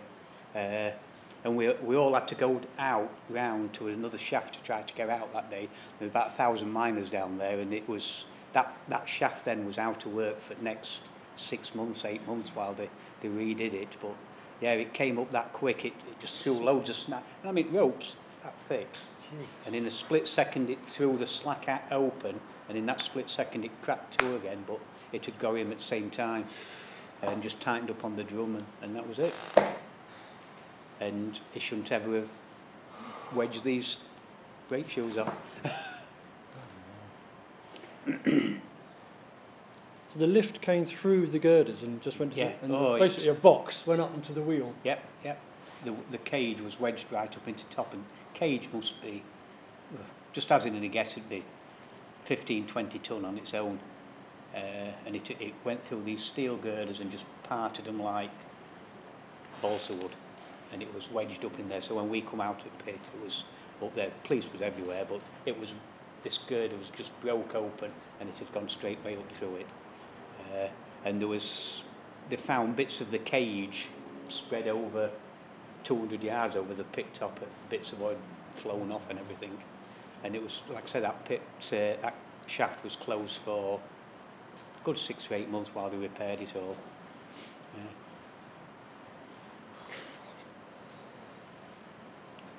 That doesn't do you uh, confidence in the lift Well, operator. now, now, now. A lot of faith in other people, isn't there? A lot of reliant on other people. Oh, all doing their own job. Yeah. Yeah, all doing their own job. If everybody does the job, it's it's easy and does it properly. Yeah. yeah. I think what, what was interesting when we were talking is um, everybody else that we've seen Laurence has been like a miner in, in a big group of miners. So, Mm. so we're all working in quite In a big team. group. Yeah, and you, and you said your role was quite solitary, really. Yeah. So, like, going back to the other bit where you said you were thinking about leaving and, and didn't really have I didn't have that. No, group because I never worked with him. Yeah. You, there was just really one of you. Yeah. Sit down, do Yeah. that, do that, and you just spent time with I, I used to have the, the close knit with the other fitters, Yeah. but not that. I'd only see those at the start of the shift and maybe at the end of the shift when you're doing your reports. Uh, and for duration of the shift, you'd probably be working on your own or with a other person. But that a other person, you're not first to work with them following day. It might be somebody else or whatever, depending where they sent you. And I could get sent anywhere, really. Anywhere. So if you was here, I might be over five mile that way one day and three mile down there next day. So, The scale's amazing, isn't it? Do you, do you know when you talk about like five miles, that, that is a massive distance. well, yeah, it's. But I know. I mean, I I know quite a few of the pits used to be interlinked, so it they always they, they always said that if yeah you'd have a fair walk, but if if that shaft got sealed for whatever reason, you could walk to Armthorpe or wherever to get back out. always gets. I never understand how they all link up. I mean, that's. A, Yeah, it's uh, you could you could walk to, to get out somewhere else. was that purely for safety reasons, or I think it was because there was that many mines in this area. They they just eventually there was it in each other? yeah. Uh, I mean, the, at least once, and I, I mean, I did it quite a few times. The the escape route, for second egress, it used to Hmm. be, and that used to be a route that they wanted everybody to know and learn. Yeah. that if anything did happen, there was a way you could walk out, and you, you'd start the shift, and you'd only work for maybe an hour, but then you would take six or eight people with you for this route to get back out of the mine, so that there's always somebody on these shifts who know the escape route. But that escape route has probably never been used for 10, 15 years, so in places it might only be two or three foot high because it all It's the all cobbled in. yeah it's all caved in and everything but you you knew you could get out if you carried on walking and you'd get there eventually as long as you keep kept following the tunnels it, Yeah. yeah So when all the mines were closing down and stuff, how were you feeling about all that? I mean, were you active in it anyway, or were you? no no uh, I mean I'd left by the time that I mean I remember the, the 72 strike uh, and I can remember it very plainly. But the main, the big strike, the year one, year long one, Mm. uh, I'd left by then, Yeah. and I was in a different industry. And you weren't kind of involved in any way. No, no. I was with the, in so much as I was in finance then, Mm. and it reflected in our f- figures because we'd got a lot of miners who were working and obviously getting no wages by then. So an it, example of how the, the, the web of this thing could reach out into. exactly, yeah. Uh, and obviously if people have got payments for in finance, I mean I can remember the, the 72 strike, I mean I'd only just, I'd only had my car maybe six months and I remember uh, a finance guy coming to the house, coming to repo- repossess my car. And, uh, and I says, I mean, we ended up not having an argument, but I just had a discussion with him. I says, it's there on my paper. He came to see me why I hadn't made any payments. And I says, what's it say where I work on, on your paperwork? And he gets it out and he says, you, you worked out mines? I says, yeah. I says, do you read news? and I says, we're on strike. And I mean, because I was a single fella, Mm. and only my mother, I didn't have what they called dependent relatives. Mm. So we never got strike pay or anything like that at that time. Oh, It was, uh, if you was a married man, you did get strike pay. It, was, it weren't a lot, but a single person didn't get anything. You never got anything at all. Uh, so for, I can't remember, how- it was only a couple of months, I think, that strike. Yeah. Uh, so for that period, there was nothing. And I even said to finance company, I said, look, I said, if you want to repossess it, it's keys, you can take it. I said, or you can bear with me and wait till I get back to work. And I said, I'll pay you. Anyway, they Mm. did. So I still kept my car. So in your finance company work, were you aware of um, miners and their fin- Were they coming to you? I mean, was there lots of finance for people who obviously, obviously, you Oh, were lending time. money. Yeah, yeah, big time. Yeah. And everything just got frozen for that 12 months. But at that time, you didn't know you were freezing it for 12 months. Yeah. It was week in, week out, and it just extended to 12 months. So uh, it, it, the knock-on effect for that strike was just colossal, really. Uh, far reaching beyond just the, them families, because the knock-on effect of, of it just spread Yeah. more and more. Uh, yeah, it was a sad day really when it uh, when all that sort of kicked off. But I, in one way, I was I was just glad I was out of it. It Yeah. uh, you Well, know, was, I, I witnessed quite a few of the the not so much the rioting, the actual uh, confrontations between the miners and the and the police. Uh, witnessed them in, in, how did you end up witnessing them? Were they the everyday life? one one particular uh, week, I mean, it, I remember because I was working in this finance company. I can remember uh, in Selby, which is only it's 20 mile away, and I remember seeing all these police vans rolling up, and they were all going through town, and they'd all got the, the screens on with big wire mesh screens, Yeah. and there must have been about 30 of these vans. So I shot out at office and just because they was all pulling up, and there must have been about 15 to 20 police in each one of these vans, and they all gets out with the riot gigs. They'd been tipped off that because there was a, uh, a power station not far away, and all the miners was coming, and they basically just uh, a deadlock because all the miners was there, and all the police was there with the shields on, just shouting and bawling at each other. And you're just witnessing it, and you th- it was just like something out of a another world. Yeah. Uh, but yeah, it was uh, that was eye opener. Yeah, suddenly on your quiet, sleepy town, whatever, there's uh, almost a very strange kind of yeah, confrontation, I suppose. Oh yeah, yeah, yeah, Which is a part of it, you know, it's like Yeah. every day, a surreal moment. yeah, Every day, like, up outside the happy shopper, yeah. there is guys Oh yeah. riot shields and guys, what Yeah, I presume. it was just, yeah, it was, it was strange because it, it, I mean, Selby is just a really, really little quiet town, ever so quiet, and all of a sudden seeing these 150 stormtrooper type police, all with riot gear on the mask, the shields, and the be- belting the shields with the truncheons, and it's just a racket, and the miners are there. Uh, I mean, nothing came to nothing that particular day, but obviously there was. Uh, you've you'd seen it on the news at different other places where there was plenty of fighting. A friend of mine, I mean, he worked uh, Kellingley Pit, and but he was a really good runner. And I mean, I, I've told this story, but it, it, the way he told it was was fantastic. Uh, and it was this particular day, and it, I think it was uh, it weren't Orgreave, it was somewhere similar to Orgreave, where there was probably two or three, four hundred miners, and about a thousand police, uh, and it was really hot summer's day, and there'd been all this confrontation, and this friend of mine, uh, he kept winding the police up to chase him, and they kept chasing him. But he was a marathon runner, and it, it took him across about six or eight fields. And every time he was going away from him, he'd stop and walk. And he, he said, I, used to fall onto the floor as if I was tired.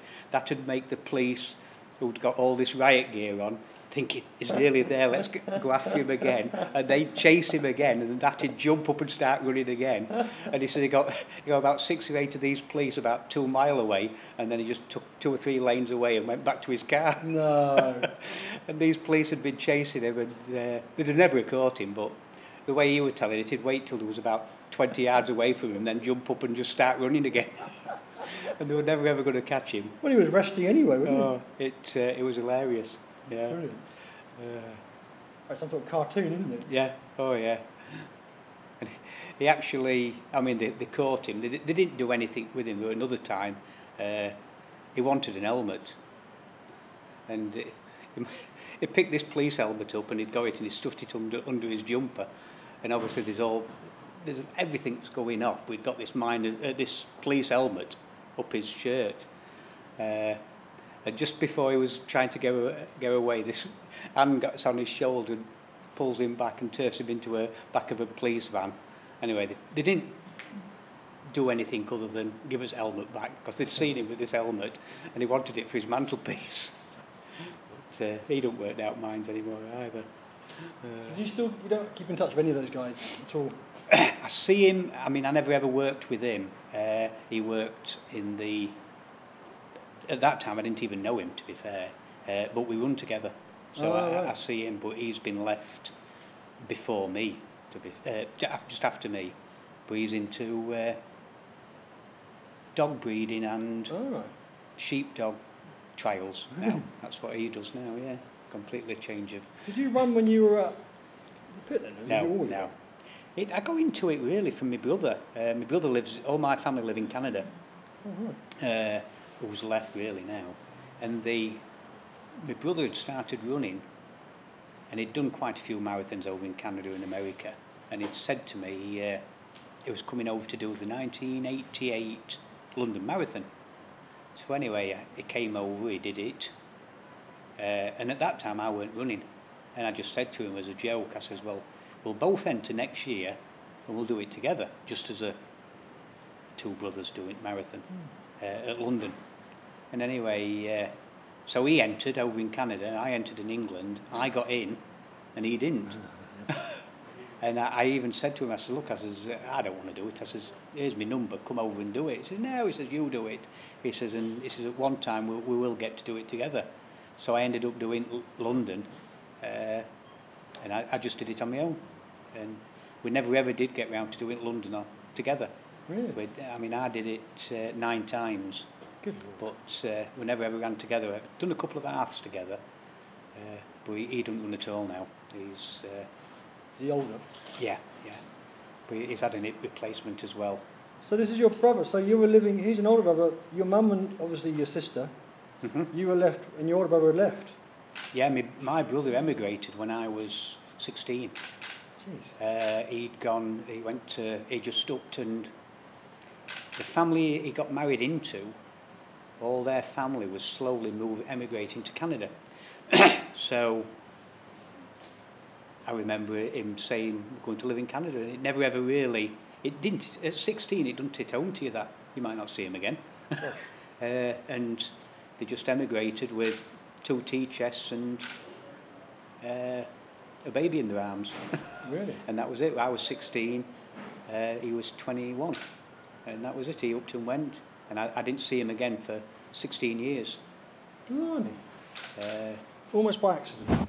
well, we, once I've got enough money, I managed to, to trace him in Canada because we lost touch completely. What? Uh, totally lost touch. How come? I mean, he knew where you were, surely. There's never been one for writing. Oh, okay. There's never been a. I mean, since then we do keep it. I mean, now you can FaceTime each other, but at that time it just weren't. And he, he moved quite a few different places, different houses, and different areas, and we just we lost touch, everything. Uh, I mean, I was a 16-year-old lad, so Yeah. uh, at that time it never really. It didn't hit home to me that day. That I remember the day really plainly. Now he'd got baby in his arms and my mates were wanting me to go out on motorbike, so I just jumped on bike, said see ya, and that was it, I rode away. Oh. Uh, and I never saw him again, like said, Wow. 15 odd years. Uh, So how did you find him? it was a friend of me grandma at that time. She'd gone to, she'd got friends who lived in a town very near to where my brother used to live. And while she were there, she made some inquiries about the, because it's an unusual name, our name. Uh, name? it's French, it's Durose. Durose. How do you spell that? D-U-R-O-S-E. Durose. Yeah. Durose. It used to be hyphenated, it used to be D-U with an hyphen, so it's French. But anyway, so it's an unusual name, and she'd made some inquiries and she managed to get a potential address and phone number where my brother could live. And this particular night I was with my sister, and we decided, because we, uh, we decided we'll try and phone this number. Really? And, and we gave it a ring and it was my brother. So we Yeah. spoke to him uh, and we hadn't spoke then for at least 14 years. And and at that time it used to be costing you a pound a minute or something stupid Yeah. like that, costing you a fortune. So- so I said to him, uh, I said, I'm thinking of coming over. He says, uh, is that okay? And he says, get yourself over. So I, I booked a flight that year and went over, and he met me at airport. Wow. Uh, and so we've kept in touch a lot better since. Yeah. Uh, I'm going over in uh, three months' time. Was that quite emotional? Or was it kind of just sort of, oh, yeah? at, at that time it was. Uh, now it's because yeah, I, I can see him every day, so to speak, if I Yeah. want. Uh, it's not as bad.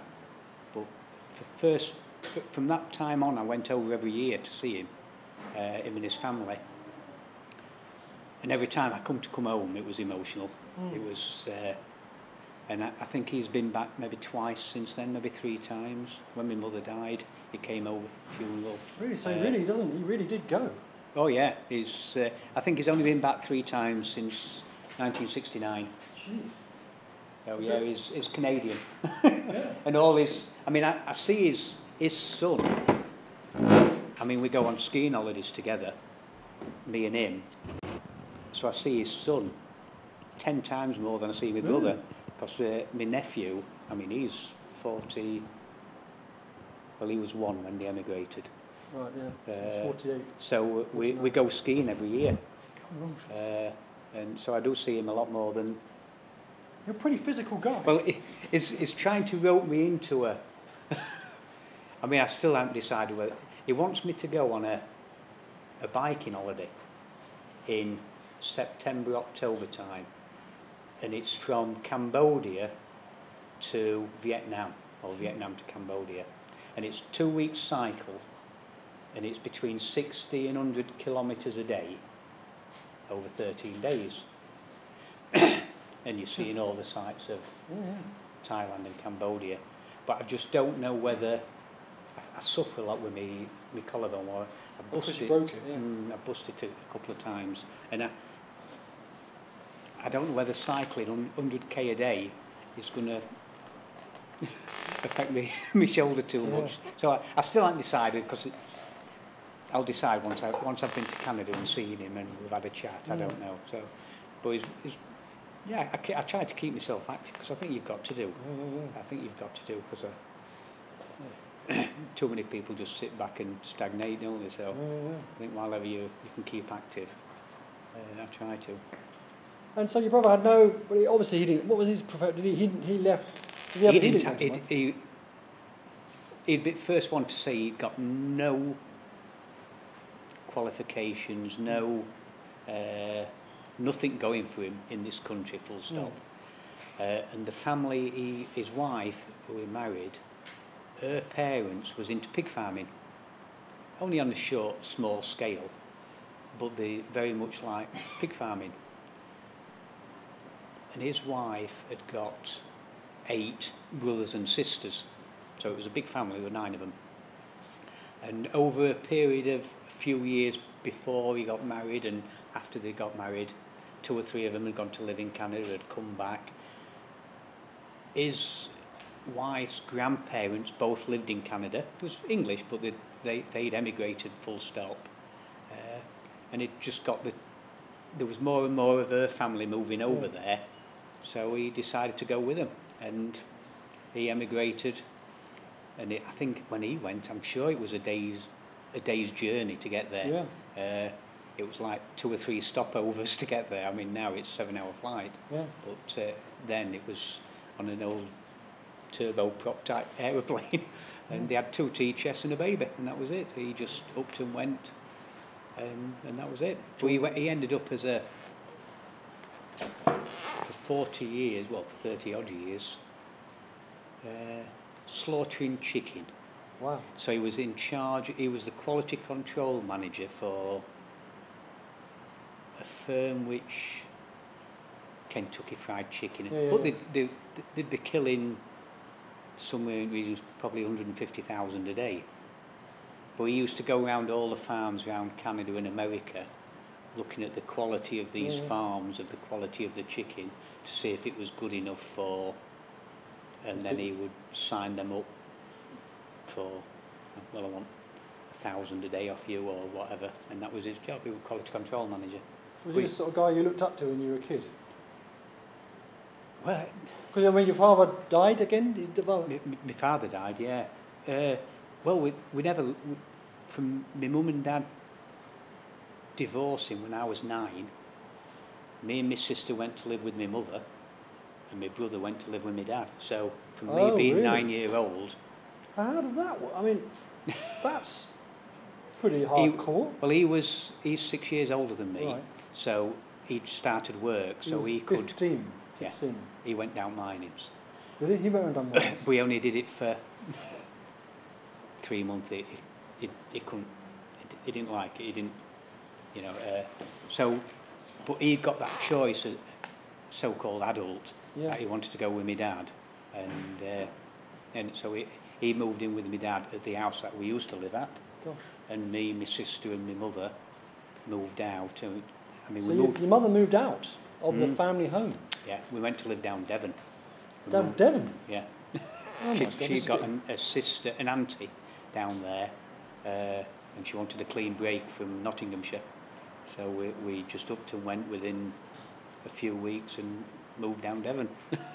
Didn't stop down there long, but it was. Did you like it down there? I did, yeah, yeah. But I couldn't remember a right lot about. it. I was only sort of nine, ten year old, so I didn't re- remember a right lot Yeah. about it. Uh, it was a lot of for the next sort of two or three years. We was we moved around a lot. Just me, my mum, and my sister in different houses and what have you. Uh, it was, yeah, it was a bit hard. Yeah. Uh, and at that time, my brother, he'd, he'd left the mines, he'd gone steel erecting, and he was all over the country working. Right. Uh, and so once I'd got to be like, I'd say 14, 15, he used to come home odd weekends and we'd see each other, but we never really, we got closer when I went back to Canada Yeah. than we were as two brothers, because we, we never ever had that brother relationship. It's We weren't because my- together. yeah, my brother lives in Australia, and so I don't obviously see him. Right. But Your brother. yeah, Yeah. but when we when I when I do go out there, it is quite it's quite because I have a show. Luckily, my, my, my exhibitions go out there now, so I I'm lucky to go out there and Yeah. do work. So I go and see them, and actually they're quite powerful um, weeks Yeah. because all that time is gone. Yeah. He's been away 16, 17 years, Yeah. And as you, you, you kind of go back to the point You when do. they left, Yeah. You and do. you kind of go over it Yeah. and because you have an impression of why they did it, Yeah. and they've got an impression of what it felt, and you kind of recalibrate and work it all out, and Yeah. you spend a lot of time Oh yeah. walking along beaches, going, did you do this? Did I feel that? I didn't do that. I, no, give me a break. I, I let you borrow that record in 1962. Yeah. I And it's, um, I never forgave you for that. You know, you didn't realise what you'd done and all this sort of stuff. And it's gone, really? I know my, my brother, I mean, the first year when I went over, I mean, I, I really enjoyed it and he enjoyed it, having my brother over there. And he introduced me to one of his close friends. Uh, and, uh, and he was talking to me this particular day and he, he said, he says, for years, he says, I didn't even know Ben had got a brother. That's my brother's name. Uh, Yeah. He says, I didn't even know he'd got a brother in England. And he says, when I queried it about him, he says, well, he says, to be honest, said, I don't think he'll be alive now. Because I, I used to be a bit of a nutcase on motorbikes. And I'd, by the time my brother went, I'd, I'd broke 18 bones. What? I broke both my legs twice, shoulder, collarbone, ribs. Is this when you were racing bikes or just I used to race them, but this was on the road. really? Mm. Yeah, I'd, Let's Yeah. just go there a bit. What, so between 16 and 18, between 16 years old and 18 years old, I broke 18 bones. Your mum must have been a nervous wreck, let alone you. Yeah, yeah, yeah. I used to be Was a bit that? of a nutcase. so, I don't want to go psycho on you, but do you think you were working stuff through? uh, I, I, I- just like speed. I used to like, I'm slowed up now. I mean, I still got a bike yeah. and I still go out on it, but uh, I've, uh, I've steadied up now. But I, I, I think that's why I suffer so much with my shoulder, 'cause I, Yeah. I broke this one, I think it's three times now, this the collarbone. Uh, so yeah, it, it, it, he just didn't think I'd survive, because he was Yeah. there for a short period of time. when- 12 bone, dozen, Yeah, dozen when I crashes. was, uh, when I was in hospital, yeah. Jesus Christ. So you were a long-haired Yeah, yeah, biker. yeah, yeah, in 60s. what do they call you around here? What were they? Were you a part, Rockers. you were part of a tribe? Yeah, the, So what, what was the music you were into? uh, Had to be a it was all 60s, not so much heavy rock, because they didn't really have heavy rock then, No. but maybe just 60s music. Uh, I mean, it was the mods and rocker era, to Mm. be fair, and mods was all into the, a different type of music, but yeah. yeah, probably 60s music, which I, I still love 60s music. Yeah. That's never really changed. Uh, So did, were you a part of a tribe then, were you a part of a gang? uh, I, I won't call it a gang. We used to meet up, all the bikers. It'd be probably 20 to 30 of us would all have bikes uh, in Retford and we'd all meet up in the market square and we'd all just sit and sit on bikes chatting and then at probably 8 o'clock every night we'd go up to the there used to be a big bikers cafe at Blyth up on the A1 Yeah. and we'd all head up there at uh, in a convoy race each other up there I mean, you must have been scaring the life out of the natives. yeah, yeah, yeah probably. uh, we'd end up there, but at, at this cafe on the A1, there'd be bikers there from all over Nottinghamshire.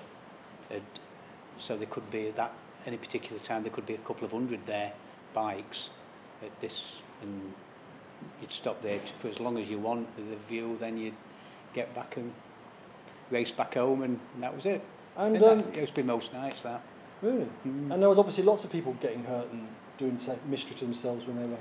I lost a few friends when I was 16, 17 on, Really? you know, getting killed and that, on bikes. Uh, yeah. But you don't, Think about it. yeah, yeah. It's part of... You would say you won't get back on a bike again, would you? It's, uh, if, I mean, I've never ever wanted, because I've got, in fact, you met my son, I think. Yeah. Uh, I never ever wanted him to get a bike, ever, because I know what I'd gone through, but But I don't know, it, it, it just did. I mean, he ended up with a bloody t- ten times quicker machine than all I ever had. thousand cc's Oh, it was a monster. Uh, but luckily, he never ever got into a to going out with a group of. Yeah. He only ever went out, me and him. So I was on my bike, he was on his bike. You were doing a responsible dad. Yeah, Full leathers. and we'd yeah. Luminous jackets. Well, no, I don't have the rules down. But, but we used to regular every every weekend. If it was nice weather, we would go out uh, With a packed lunch. for a ride and drop off at the cafe. Uh, but wherever we went, once we'd got to wherever we were going, we'd then swap bikes. Oh, and right. I'd, I'd bring his back and he'd bring mine back. Uh, and that's what we used to do. But he sold it last year. uh, and I was glad he did. Mm. And he, he, actually said, he says, I'm going to get rid of it. He says, because he says, I've got away with it. Yeah. And he says, without ever coming off. And he says, I've, and he's kept all his leathers and everything. And I, in the fullness of time, he'll probably end up. I mean, we go to TT regular, me and him. Really, what, on the Isle of Man? Yeah. Really? Uh, Does ever do it? no, I've ridden around it, but I'm, I've never raced it. That's that's something else. That that's. yeah, you need you need some nerves for that one. Mm. yeah. Yeah, uh, my nerves won't be big enough for that. Uh, so yeah, we spend a lot of time together, but isn't it? It's never. We're still into bikes, pair of us, Yeah. and we still go to race meetings and watch the and spectate and things like that. Uh, but luckily, he's got past the stage. He's quite happy in a car Yeah. now, and have you? So, uh, How many children? We've got one son or? A boy and a girl. Mm. And it was my daughter basically who told me about you, Oh, really? and she lives in Belgium. No. She's she's lived there now for the last four years in Belgium. I mean, she comes over regular. I mean, I speak to her regular, and it was. She'd just gone back home. She'd come home for Christmas. Between Christmas and New Year, and she FaceTimed me. and She says, "I've seen something on Facebook." She says, uh, "I'll send you a link, and have a read of it." So between Christmas and New Year, she, and she just sent me this link off of Facebook. I've still got the link, but I can't remember what it said, but it was basically Danny's name, Yeah. uh, trying to find people from, who worked in the mines in Hmm. Doncaster and what have you. And I mean, she knew I worked out Pit and what have you. So, from her sending me this message in Belgium, Wow. I then emailed Danny that, that day Yeah. and just said, you know, my daughter sent me this link. Uh, I don't know if you're still in wanting people and what have you. And I got an automated reply from him saying that it was on holiday till 8th of January. And I, from that, I forgot all about it. And I thought, well, yeah, it's just die a death. And then about the 9th or 10th of January, I just got this email from Danny saying, yeah, and that's how it progressed. But Brilliant. like I say, my daughter in Belgium, she got Good to know Lord. about it. That's amazing. It is, and it just shows you how, how far Yeah. things could or have Yeah. spread and what have you. Uh, she got to know it way before I did. And I mean, she even she FaceTimed me last night and uh, wanted to know how it was going and what have you. I told her I was here You get- today. she can watch us now. Yeah, She's probably watching yeah. it now. Yeah. Uh, Because this will be on now forever, I think. Is it? What the? The film. Will it? Yeah, yeah, this is now a... You're part of a box set. Right. yeah. It's, um... Basically, they're doing... This is being recorded, as well as going out now. Going each- out in so on the internet. It's on the internet. It's on YouTube. We're, Is we're it? on YouTube now. Right. Yeah. So will it stop on YouTube? This. It'll stay on Right. YouTube. Yeah, there's a link. So I- You'll get a link. Right. We should do this. There's a link. Dun-dun-dun-dun-dun. Yeah, But. I mean, basically, yeah, this your testimony Yeah. will be a part of a 12-part box set. Right. Let's call it that. All right. And um, so we. And is that part of your? This is part of the consultation, Yeah. really. It's part of Right. it. Basically, basically, it's just trying to make get out outreach. I mean, it's just it's just this project is all about people like you telling their stories and telling the world their stories Yeah, and yeah. getting it out there because it hasn't been recorded. And um, I said, I think I want to do portraits of people. That's incredible. You have to talk to me, basically. yeah. I can't concentrate unless you know. Yeah.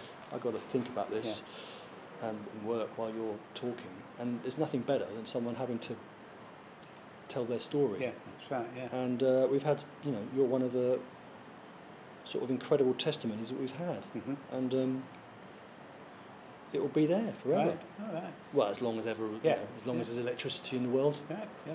and a cathode ray tube, I suppose. I Oh, I'll have to send her the link. She'll Yeah. Be, she'll be over the moon with that because Yeah. uh, with her finding it, like I say, Yeah, it's brilliant. Uh, and it was just out of blue when she sent me this message, and when I read it, I thought, well, I'll email him because she says, "Are you going to do it?" And she was pushing me basically. Really?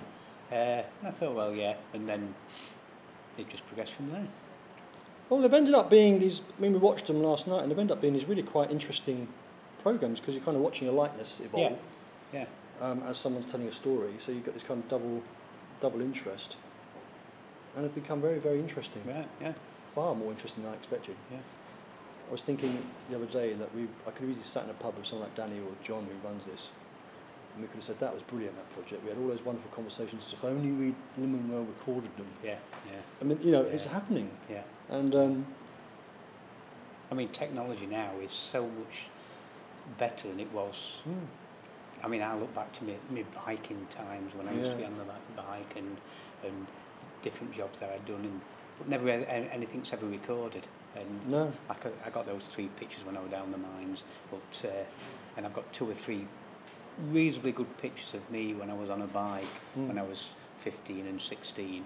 But nowadays, I've got, I mean, I must have took a thousand pictures of my bike that I've got now, and Yeah, they're all yeah. recorded, Nothing. but uh, not not ones of the ones because the, the number of times my son said, oh, "I wish I'd got pictures of this," or "I wish I'd got pictures of that." Mm. I never ever kept ever ever got them because there weren't the technology Yeah. around to do it really. that is amazing.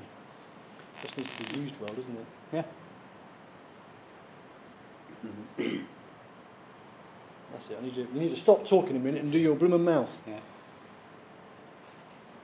'Cause I haven't been able to get your bottom lip at all. It actually goes straight up there. Now you know you're being recorded. You go on quiet. Yeah. Clammed up. Yeah. What does your daughter do in Belgium? Well, that's it. She's gone like me, just completely different change of uh, career. What's her name? She, Laura.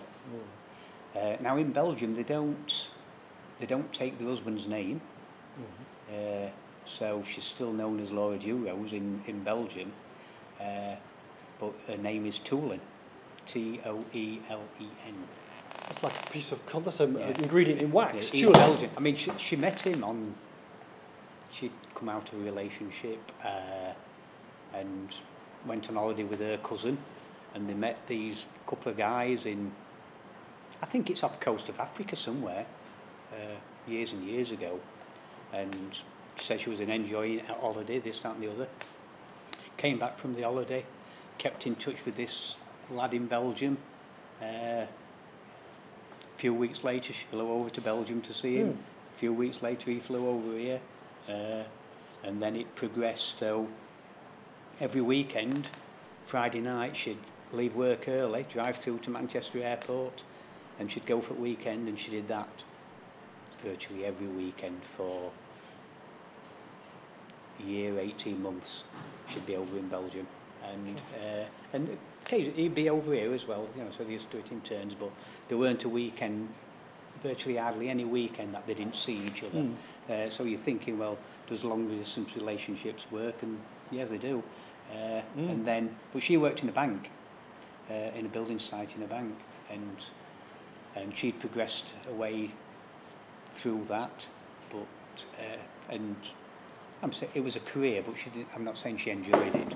Yeah. Uh, and then she was on a two-week holiday in Belgium Yeah. uh, from a job in Gould, and then the, she phoned me up to say, Dad, I've got a job. I said, yeah, I said, I know you've got a job. She says, no, I've got a job in Belgium. I said, oh, right. And she could tell I'd gone quiet. Yeah. Uh, and she was telling me about it. And she says, uh, she says, I'm going to take it. I says, right. So for the next few weeks, uh, she's packing things up in her bedroom and Oh God. How old is Uh, she? she's 30 now. What, how was she? How old was she then? 20... Oh, God. 25, So she's, 24. she stayed with you for. Yeah. She stayed with you for a while. Mm, yeah. And uh, this particular the weekend when he, a partner, at that time they, were, they weren't married, Mm. he drove over from Belgium, uh, loaded the car up, and that was it. I was in pieces. yeah. Yeah. Uh, as she drove off, and that was it. Uh, Is your wife still around? yeah, mm, yeah, she's working. She's at work today, uh, and she got married. I think it was about a year later. Got married, and we all went over. Wow. whole family went over there for for wedding. Whereabouts in Belgium is it? It's it's a really little, small village called uh, Aalst, but it's uh, it's not far from Brussels. That's the easiest. Mm. Uh. When, whenever you see these, uh, I'm just trying to think of the name of it, when where all the terrorists have been hanging out at Oh, yeah, yeah, yeah, yeah, yeah. Mot- Mottenbeck or something. Yeah, yeah. Which is, Near there. yeah, yeah. Uh, but it's only a li- right little village, which is, like I say, a completely different change of career. This What does she particular family in who a partner knew was wanting a nanny, for want of a better Mm. word, an English nanny. Mm. Uh, the children are sort of three year, two at this time, two year, three year old, up Yeah. to, I don't know, five, six. Uh, so my daughter's job at that time was she'd go there in an afternoon, take their vehicle, go round the three schools to pick the children up, take them home, give them the tea, and wait for the parents to come home, and then she'd come home. Mm. And she's done that ever since. Mhm. And uh, she's, she bring, she's basically, I'm saying teaching them English. They're picking up a lot of English Yeah. through her, and she's done it ever since, the same family. So she's gone from being in a bank to being a Wow. type of a nanny. Yeah. Uh, I mean, I, I don't think the nanny is the correct term, No. but she gets the tea ready, looks after him until uh, the parents go, come home at six, seven o'clock at night, and she jumps in car and comes back home. And then occasionally it might be a weekend, she'll go and help out at weekends or whatever. Yeah. So, yeah, so that's what she does. Gosh. Completely different career. Yeah. Ten minutes to go. There you are. All right. Hello, Yeah. Steve. Jesus. What we'll do, Steve, is we'll send you the link as well so you can send it to your daughter. Yeah, that'd be great. I was just telling Laurence, yeah, it'd be fantastic that.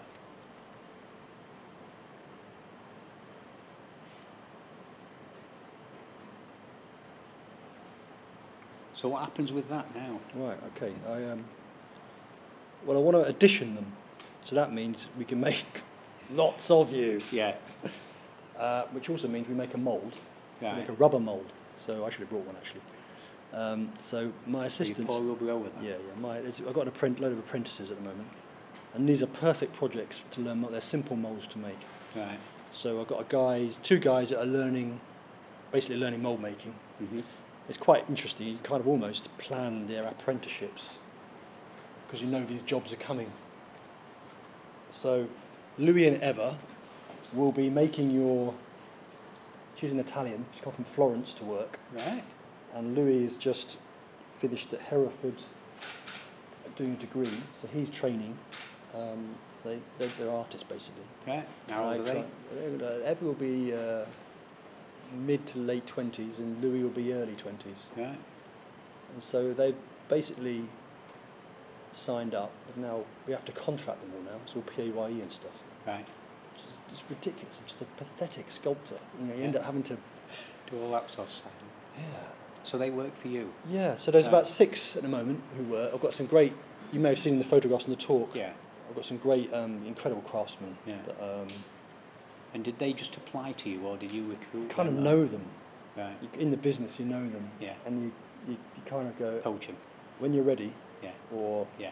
some of them say, Laurence, when you know what you're doing, of course that's amazing. I'll, I'll join. You know, Yeah. is there any chance of? Or hmm yeah, you just caught them. It was much Yeah. like a, you know, you, you build your team, don't you? Yeah. Yeah. Yeah. But there are a couple of pri- well, actually, to be honest, if I say a couple, all of them are essential, and um, they've all been kind of trained, or they've trained me. Um, it's, it's just extraordinary. It takes two or three years to learn the process properly, and so they have to be with you and work with you for at least three years before Mhm. they become useful, really. Right. And uh, so there's now six or seven, and um, four of them, five of them are. Look, big premises you've Yeah, got. yeah, yeah, it is. Yeah, it's turned into a very big Yeah. thing.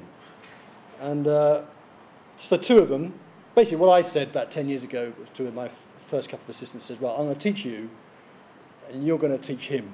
Yeah. And I'm not going to teach anyone ever again. Because I was Yeah. just teaching, teaching, teaching, teaching, teaching, teaching. Yes, wears you down. And you end up, well, not that, but you never get anything done. You, just Yeah. get, we get, you finish someone, you think you're a brilliant caster, and then um, they go. Yeah. And then, you know, then the next, so, So always make sure, them everything. I was at that time, in the sense of bronze casting, and they come because they want to learn sculpture as well. Yeah. And um, so I end up having to jump in to say, okay, I'm going to take two on quick, even though I might think I need them. So one trains the other, so I'm never left exposed. Right. Yeah. Before you know it, then you think, oh, two people have created that job. Oh God, I now need three, and then you think, oh, I can't Yeah. possibly need four. Yeah. But that went on and on like that, and now it's got to this point. So how did you recruit the people from abroad? Well, they find me. I teach. Say, I do a, I do a teaching in London. Like I do a workshop in London, and I go to a college and teach for a week. Mm-hmm. And you just notice a couple of students they're about to leave next year, and then they might email you, and they kind of email you in an interesting way. and They'll say, "Can I come and visit your studio?" You go, Yeah. "Yeah." Said, By the way, I've read this article.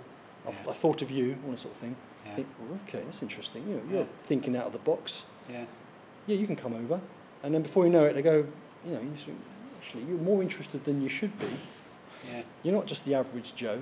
Mm-hmm. And um, you say, well, why don't you, you know, sort of starts to be an fulfilling, uh, sort of fulfilling its own kind of prophecy, really. Right.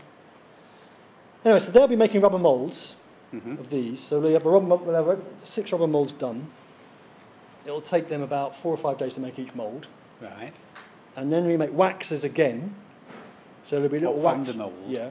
So this wax can be, can be cast into bronze, Yeah. but I don't have to. So a wax will be made. So you'll be in green, you'll be green and hollow. And then you'll go in at a refractory mould, which is can be fired. So we'll invest you, cover you up. Mm-hmm. And then you go in a kiln. Right. And you, yes, this goes in a kiln. Yeah. It's wax, or the wax you make, whatever. Yeah. It can be just if you want to be. Um, and it melts away. And it's a great Ah. leap of faith because you suddenly got nothing. You've got very So delicate mould. back up? No. Well, you've got the mould, you've got the rubber mould. Yeah. Yeah. And uh, it's an extraordinary moment because there's nothing there. Yeah. But there will be something very, very permanent not far down the road, you know. Yeah. So you've got a positive sculpture, negative rubber mould. And you've got positive yeah. wax, and then you have a mould around that, and then you have a negative mould again. So it's positive, negative, positive, negative.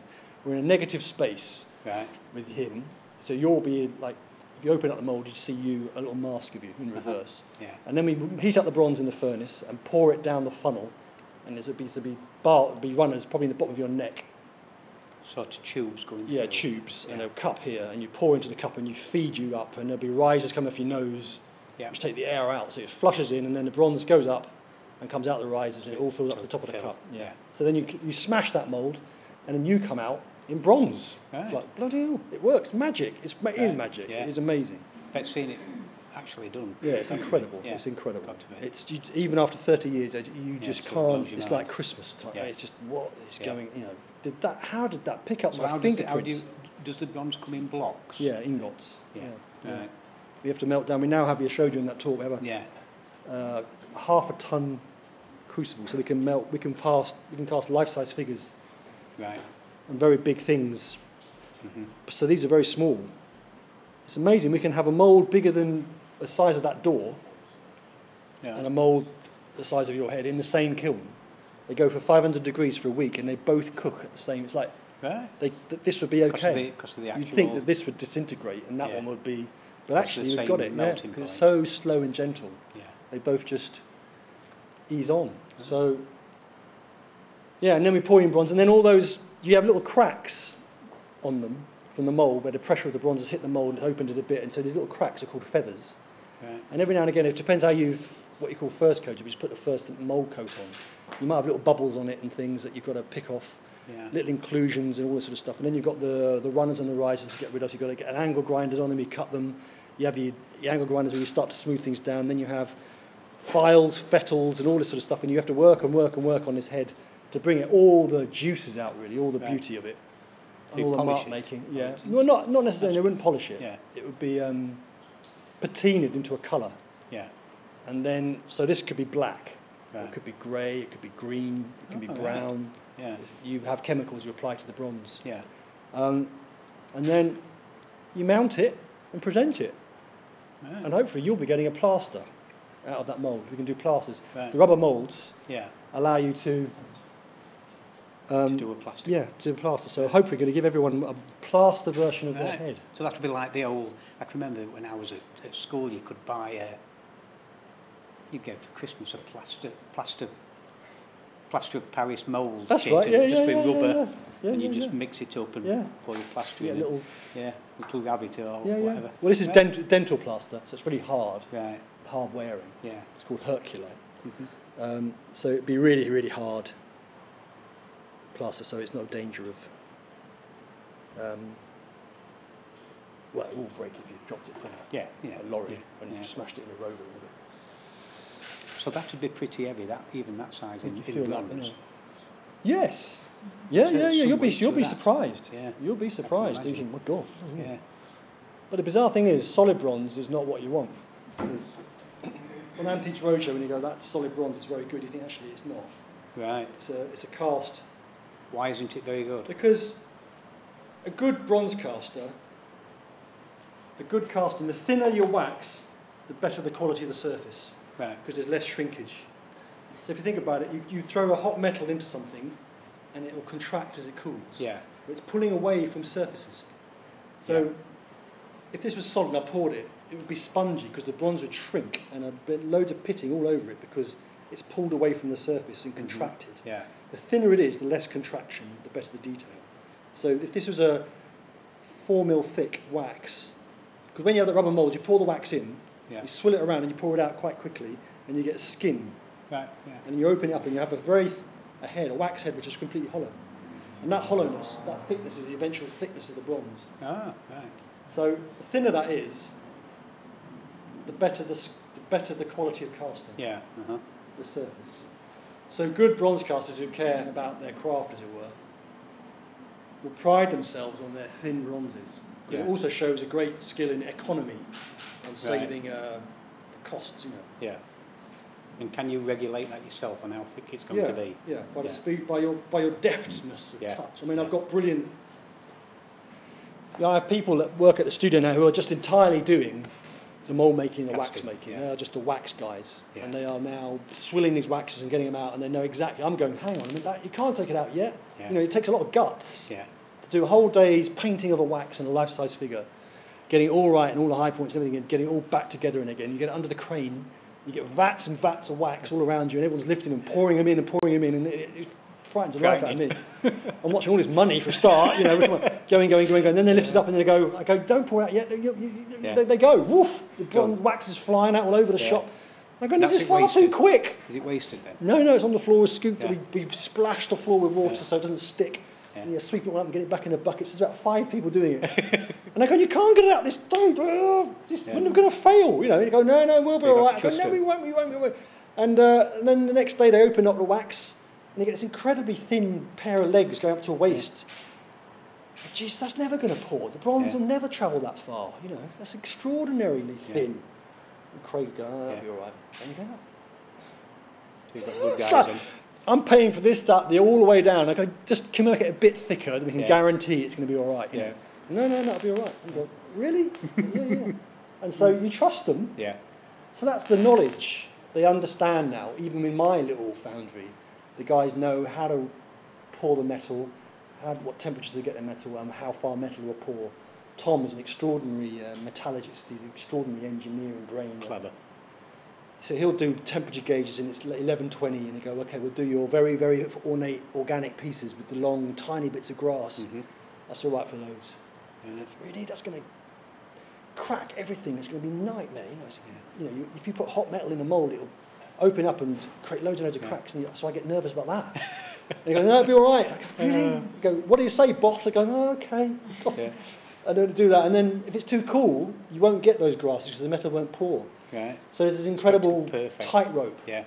So all Thin this line. skill and this knowledge, and each foundry has its own, you know, tolerances and levels, and these Yeah. guys devise and design all this, Yeah. and all the parameters they stick in the bronze, and they wait and wait and wait for the right moment. Mhm. You go, we really should be pouring and going, wait, no, we really Yeah. should go. Come Yeah. on, there's 200 kilos of metal, we've got to pour. Yeah. Right, you know, so it's all that kind of um, knowledge.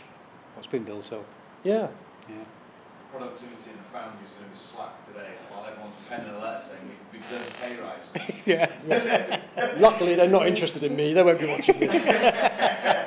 they're sick to death of me talking. sick to death of it. They, I just oh, bore them rigid. But they're damn good people, you know. Yeah.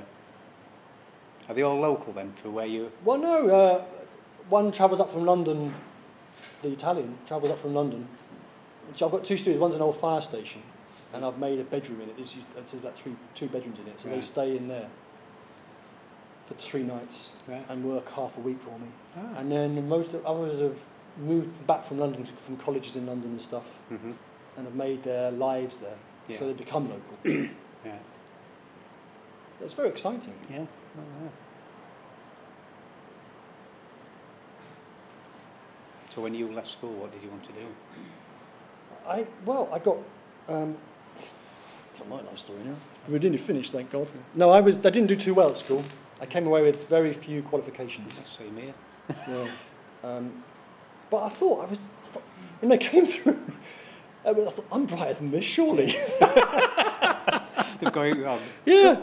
You know, I thought this is not. This is not. This is not. This is not right, is it? I got art, and I got uh, an E in history. I like grade CSE five fail at U for maths. Yeah. I thought.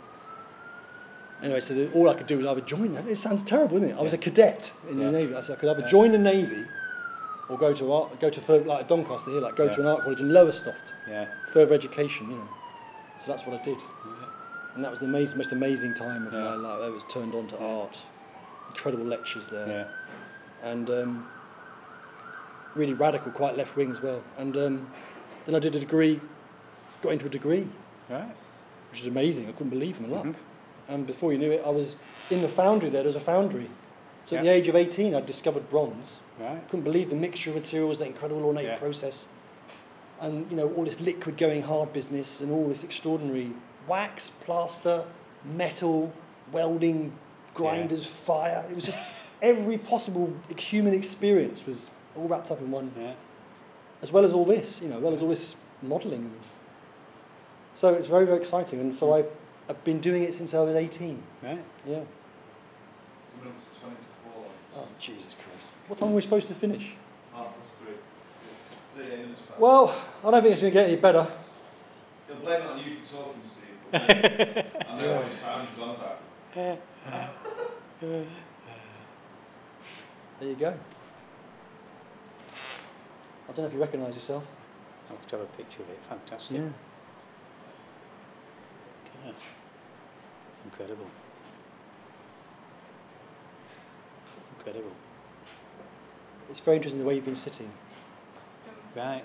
Picture phone. Yeah, please. Yeah. Gonna say I'll take one. Because you're obviously, this is um, Joan, she was sitting like, you know, she had a back, the neck goes into the back. But that's the back of an 85 year old. It's interesting. Yours was a, I'll take it. Do you want it next? I'll get you in Yeah. it. Tom. yours Okay, is a I'll get fit back. I'll get it.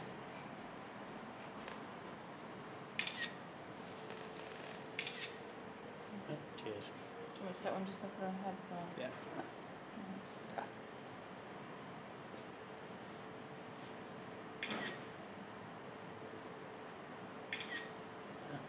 I said my eyes look. Uh, I know you'd you'd remarked about it, saying that Yes. the eyes, and I'd never Oh, something yes. I'd noticed it until you were pointing it out on the actual screen.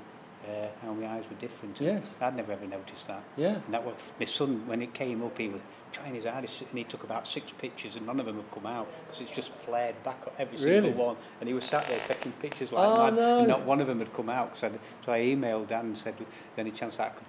Because he wanted a Yeah, copy of my brilliant. son, and not one of them had come out. it was just all flare. Fantastic. That was a beautiful photograph. Yeah.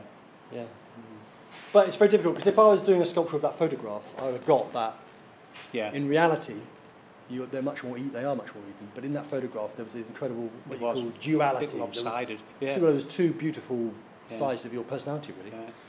Um, but when you're talking animated all the time, Yeah. you know, you're, quite- it's Changes. great, and Yeah. your face is constantly moving. So Right. one's trying to pin down things, Yeah. like your mouth, for example, is very vague because it's moving all the time. Yeah. And that kind of, you know, there's much more animation in your eyes. Mm-hmm.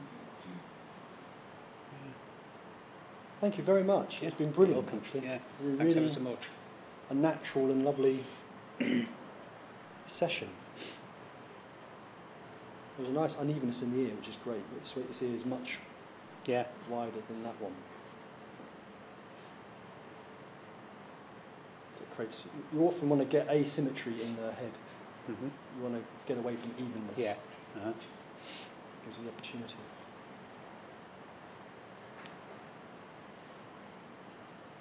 Yeah, there you go.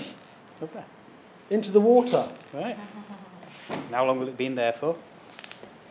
I'll be back Friday afternoon. So it stops in there till then? They'll stop in there in the, around the back of the van Right. and then um, drive back. And they'll probably be in there till each one is made a mould of. So a couple of weeks, some of them. Right. Yeah. And nothing will happen to them in no, the that's, water? put- they're in perfect. That's Ah. a perfect place for them. Yeah. Right. Yeah. Yeah. Thanks Brilliant. so much. Great, Steve. Oh, Thanks a bloody hell, we did it again.